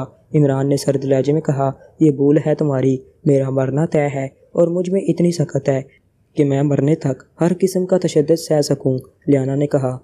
इमरान चंद में इसकी तरफ़ गौर से देखता रहा। जवाना, इमरान ने जवाना से मुखातब होकर कहा, यस, मास्टर। जवाना ने मोदबाना लहजे में कहा, स्टोर से वाइटी इंजेक्शन की दो सरुंजे भर कर ले आओ। इमरान ने कहा, यस, मास्टर। जवाना ने कहा, और तेज़ तेज़ चलता हुआ कमरे से निकलता चला गया। ये वाइटी इंजेक्शन क्या है? जवाना के जाने के बाद लियाना ने पूछा, इसे ब्रेन वॉशिंग के लिए इस्तेमाल किया जाता है? इस इंजेक्शन के लगते ही तुम्हारा दिमाग माउफ हो जाएगा। तुम अपने दिमाग को अगर लाख भी करना चाहो तो नहीं कर सकोगी। जैसे ही तुम्हारा दिमाग शौर से लाशौरी कफियत में जाने लगेगा, मैं इसी वक्त दूसरा इंजेक्शन लगाकर तुम्हारे दिमाग को शौर और लाशौर की स्टेज पर रोक दूँगा और फिर मुझे तुम्हारी कनपटियों पर दो हुक मारने की ज़रूरत होगी। तुम्हारा दिमाग मुकम्मल तौर पर लाशौरी कफियत में पहुँच जाएगा। और फिर तुम लाख कोशिश करो, तब भी कुछ ना कर सकोगी। और मेरे पूछने पर मेरे हर सवाल का जवाब देती जाओगी। इमरान ने मुस्कुराते हुए कहा तो इसकी बात सुनकर लियाना के चेहरे पर खौफ के तासरात फैल गए। ये ज़्यादा है, तुम मेरे साथ ऐसा नहीं कर सकते। लियाना ने चीखते हुए कहा, जंग और मोहब्बत में सब कुछ जायज़ होता है लियाना, और तुमने वाटर लाइट का नाम लेकर मुझे सर से पाँव तक हिलाकर रख दिया है। वाटर लाइट अगर पाक्षिया में है तो ये पाक्षिया के लिए बहुत बड़ा और ऐसा खजाना है, जिससे पाक्षिया की मैशियत को मज़बूत किया जा सकता है। पाक्षिया इन दिनों जिन मुश्किल और बदहाली का शिकार बना हुआ है, वाटर लाइट पाक्षिया को मुस्तहकम बनाने के लिए रीढ़ की हड्डी साबित हो सकता है। इसलिए ये कैसे मुमकिन है कि मैं वाटर लाइट जैसी कुदरती नेमत को पाक्षिया से बाहर जाने दूँ और वो भी पाक्षिया के अजली दुश्मन इसराइल के कब्ज़े में? इमरान ने गिराते हुए कहा, इससे पहले कि इनमें मज़ीद कोई बात होती, उस में इमरान के सेल फ़ोन की घंटी बज उठी। इमरान ने चौंक कर जेब से सेल फ़ोन निकाला और इसकी स्क्रीन पर डिस्प्ले देखने लगा। स्क्रीन पर टाइगर का नाम डिस्प्ले हो रहा था। मैं अभी आता हूँ, इमरान ने कहा। और मुड़कर तेज़ तेज़ चलता हुआ कमरे से बाहर निकलता चला गया। बाहर आते ही इसने सेल फ़ोन का बटन प्रेस किया और इसे कान से लगा लिया। इमरान बोल रहा हूँ इमरान ने कहा, टाइगर बोल रहा हूँ, बास। दूसरी तरफ़ से टाइगर की आवाज़ सुनाई दी, यस, क्या रिपोर्ट है? इमरान ने पूछा, बास, मैंने पता लगा लिया है, मास्टर मिकाय का ताल्लक वाकई इसराइली एजेंसी ब्लैक हाक से है और वो यहाँ वाटर लाइट दहात के हसूल के लिए पहुँचा हुआ है। दूसरी तरफ़ से टाइगर की आवाज़ सुनाई दी तो इमरान चौंक पड़ा, वाटर लाइट? इमरान ने कहा, यस, बास, ये एक कीमती दहात है जो यूरेनियम की ताकत में इजाफा करती है। और इसे अगर आम धातों में मिला दिया जाए तो वाटर लाइट की थोड़ी सी मकदार से टन यूरेनियम जैसी दहात बनाई जा सकती है। पक्षिया में बलारक पहाड़ियों के नीचे इस दहात का वाफर ज़ख़ीरा मौजूद है, जो इसराइली एजेंटों की नज़रों में आ चुका है। उन्होंने इस मकाम पर एक खुफिया लेबार्ट्री बनाई है, ताकि इस लेबार्ट्री में पहाड़ी के नीचे से निकाले हुए वाटर लाइट को पाउडर की शक्ल दी जा सके। इसके साथ साथ इस लेबार्ट्री में एक खास नशीला पाउडर भी तैयार किया जा रहा है, जिसे उन्होंने वाटर लाइट का ही नाम दिया है और इस नशीले पाउडर की आड़ में वाटर लाइट को इसराइल मुंतकिल करने का प्रोग्राम है। ये काम तेज़ी से जारी है और इस काम में ब्लैक हाक एजेंसी के एजेंट ही मुलवस हैं, जिनका सरबराह मास्टर मकाय है, जिसने यहाँ एक खुफिया तंजीम रेड वाटर कायम की हुई है और वो इसी रेड वाटर तंजीम के तहत ये सब कुछ खुफिया तौर पर करता रहा है। टाइगर ने जवाब देते हुए कहा, तुम्हें वाटर लाइट और खुफिया लेबार्ट्री के बारे में कैसे मालूम हुआ है? इमरान ने पूछा मैं मसलसल मास्टर मिकाई पर नज़र रखे हुए था, बास। मैंने कोशिश करके मास्टर मिकाई के नंबर टू क्रास्ट की जगह ले ली थी, जिसे मास्टर मिकाई ने हेलर की जगह अपना नंबर टू बनाया था। क्रास्ट को गायब करके मैंने इसका मेकअप किया और मास्टर मिकाए के करीब पहुँच गया। मास्टर मिकाए क्रास्ट से हर बात करता है और इससे ज़रूरी मशवरे भी लेता है। जब मुझे इस सारी हकीकत का इलम हुआ तो मेरे लिए मास्टर मिकाए से असलियत उगलवाना आसान हो गया और मैंने इसके आफस में इसे काबू करके इसे बेहोश कर दिया और फिर मैंने इसे होश में लाकर जब इस पर मखसूस तशद किया तो इसने सब कुछ उगल दिया। टाइगर ने जवाब देते हुए कहा वेल्डन कहाँ है अब मास्टर में खाए इमरान ने मुस्कराते हुए कहा, इस पर तशद ज़रूरत से ज़्यादा हो गया था बास इसलिए वो हलाक हो गया है और मैंने इसकी लाश, इसके क्लब के नीचे मौजूद बरकी भट्टी में जला दी है। टाइगर ने जवाब दिया तो क्या इसकी जगह अब तुम मास्टर मकाए बने हुए हो? इमरान ने पूछा, यस, बॉस। टाइगर ने जवाब दिया वेल्डन ये बताओ कि तुमने मास्टर मकाए से लेबॉर्ट्री के बारे में क्या मालूम हासिल की हैं? इमरान ने पूछा, इसने सब कुछ बता दिया है, बास। इसने इसके साथियों के बारे में मलारक पहाड़ी की गहराइयों में मौजूद दस के दस वाटर लाइट स्टोन निकाल लिए हैं और इन्हें खुफिया लेबार्ट्री में पहुँचा दिया है, जिनकी सफ़ाई के बाद इन स्टोन्स को पाउडर की शक्ल में तब्दील किया जाएगा और फिर नशा आवर पाउडर के साथ इसे भी पाक्षिया से स्मगल कर दिया जाएगा। लेबार्ट्री का महल वकू वहाँ काम करने वाले अफराद की तादाद के साथ मेरे पास वहाँ की सिक्योरिटी की भी तमाम मालूम मौजूद हैं, टाइगर ने कहा। तो फिर मैं चीफ से बात करके मम्बरान को तुम्हारे साथ भेज देता हूँ। तुम इन सबको लेकर रेड वाटर की खुफिया लेबार्ट्री में जाओ और वहाँ मौजूद तमाम अफराद को हलाक करके वाटर लाइट को अपने कब्ज़े में लेने के बाद इस लेबार्ट्री को तबाह करो ताकि फसाद की जड़ ही ख़त्म हो जाए। इमरान ने कहा, यस बास। टाइगर ने कहा, तुम कहाँ हो अब? इमरान ने पूछा, मार्स क्लब में ही हूँ बास। मास्टर मिकाई के ऑफ़िस में। टाइगर ने जवाब दिया, ओके, मैं मेकअप में टीम को वहाँ भेजूँगा। तुम इन्हें वहीं से अपने साथ ले जाना। इमरान ने कहा, यस, बॉस। टाइगर ने जवाब दिया तो इमरान ने टाइगर से रबता ख़त्म किया और दानिश मंजिल के नंबर मनाने लगा। इसने ब्लैक ज़ीरो को कॉल करके सारी सूरत हाल से आगाह किया। और इससे कहा कि वो टीम को फौरी तौर पर मार्स क्लब में टाइगर के पास भेज दे, जो मार्स क्लब में मास्टर मकाए के मेकअप में मौजूद है। ब्लैक ज़ीरो को हदायत देने के बाद इमरान के चेहरे पर इतमान के तासरात उभर आए थे। इसने सेल फ़ोन जेब में रखा और फिर वापस इस कमरे की तरफ़ बढ़ गया, जहाँ लियाना बंधी हुई मौजूद थी। जवाना वापस आ चुका था। इसके हाथों में दो सुरंजें थी, जिनमें हल्के जरद रंग का मालूल भरा हुआ था और लियाना इन सुरंजों की तरफ़ खौफ भरी नज़रों से देख रही थी। इमरान, मुझे ये इंजेक्शन ना लगाना प्लीज़ मैं जानती हूँ कि अगर तुमने मुझे ये इंजेक्शन लगा दिए तो मेरा शौर ख़त्म हो जाएगा। और तुम मुझसे जो सवाल भी पूछोगे, मैं लाशौरी कफ़ियत में, तुम्हें सब कुछ बताने पर मजबूर हो जाऊँगी। और अगर मैंने दिमाग पर ज़्यादा दबाव डाला तो मेरे दिमाग की रगें फट जाएँगी, और मैं इबरतनाक मौत का शिकार हो जाऊँगी। इससे बेहतर है कि तुम मुझे गोली मार दो, इमरान को देखते ही लियाना ने कहा ठीक है, अगर तुम्हारा यही फैसला है तो फिर इसी पर अमल कर लेते हैं। इमरान ने मुस्कुराते हुए कहा तो लियाना चौंक पड़ी। क्या क्या मतलब? लियाना ने कहा, तुमने खुद ही ख्वाहिश ज़ाहिर की है कि तुम्हें गोली मार दी जाए। अब मैं इतना भी कम ज़रफ़ नहीं हूँ कि तुम्हारी आखिरी ख्वाहिश पूरी ना कर सकूँ। इमरान ने उसी अंदाज में कहा तथा तो क्या तुम सचमुच मुझे गोली मार दोगे? लियाना ने हकलाती हुई आवाज़ में कहा कहा तो है, तुम्हारी आखिरी ख्वाहिश है, इस पर अमल करना तो पड़ेगा। इमरान ने कहा अगर तुमने मुझे हलाक कर दिया तो फिर तुम्हें इस बात का कभी इलम ना हो सकेगा कि वाटर लाइट कहाँ है। लियाना ने कहा, बेफिक्र रहो, मास्टर मकाए हलाक हो चुका है और तुम जो छुपाने की कोशिश कर रही थी, वो सब मास्टर मकाए मेरे साथी को बता चुका है।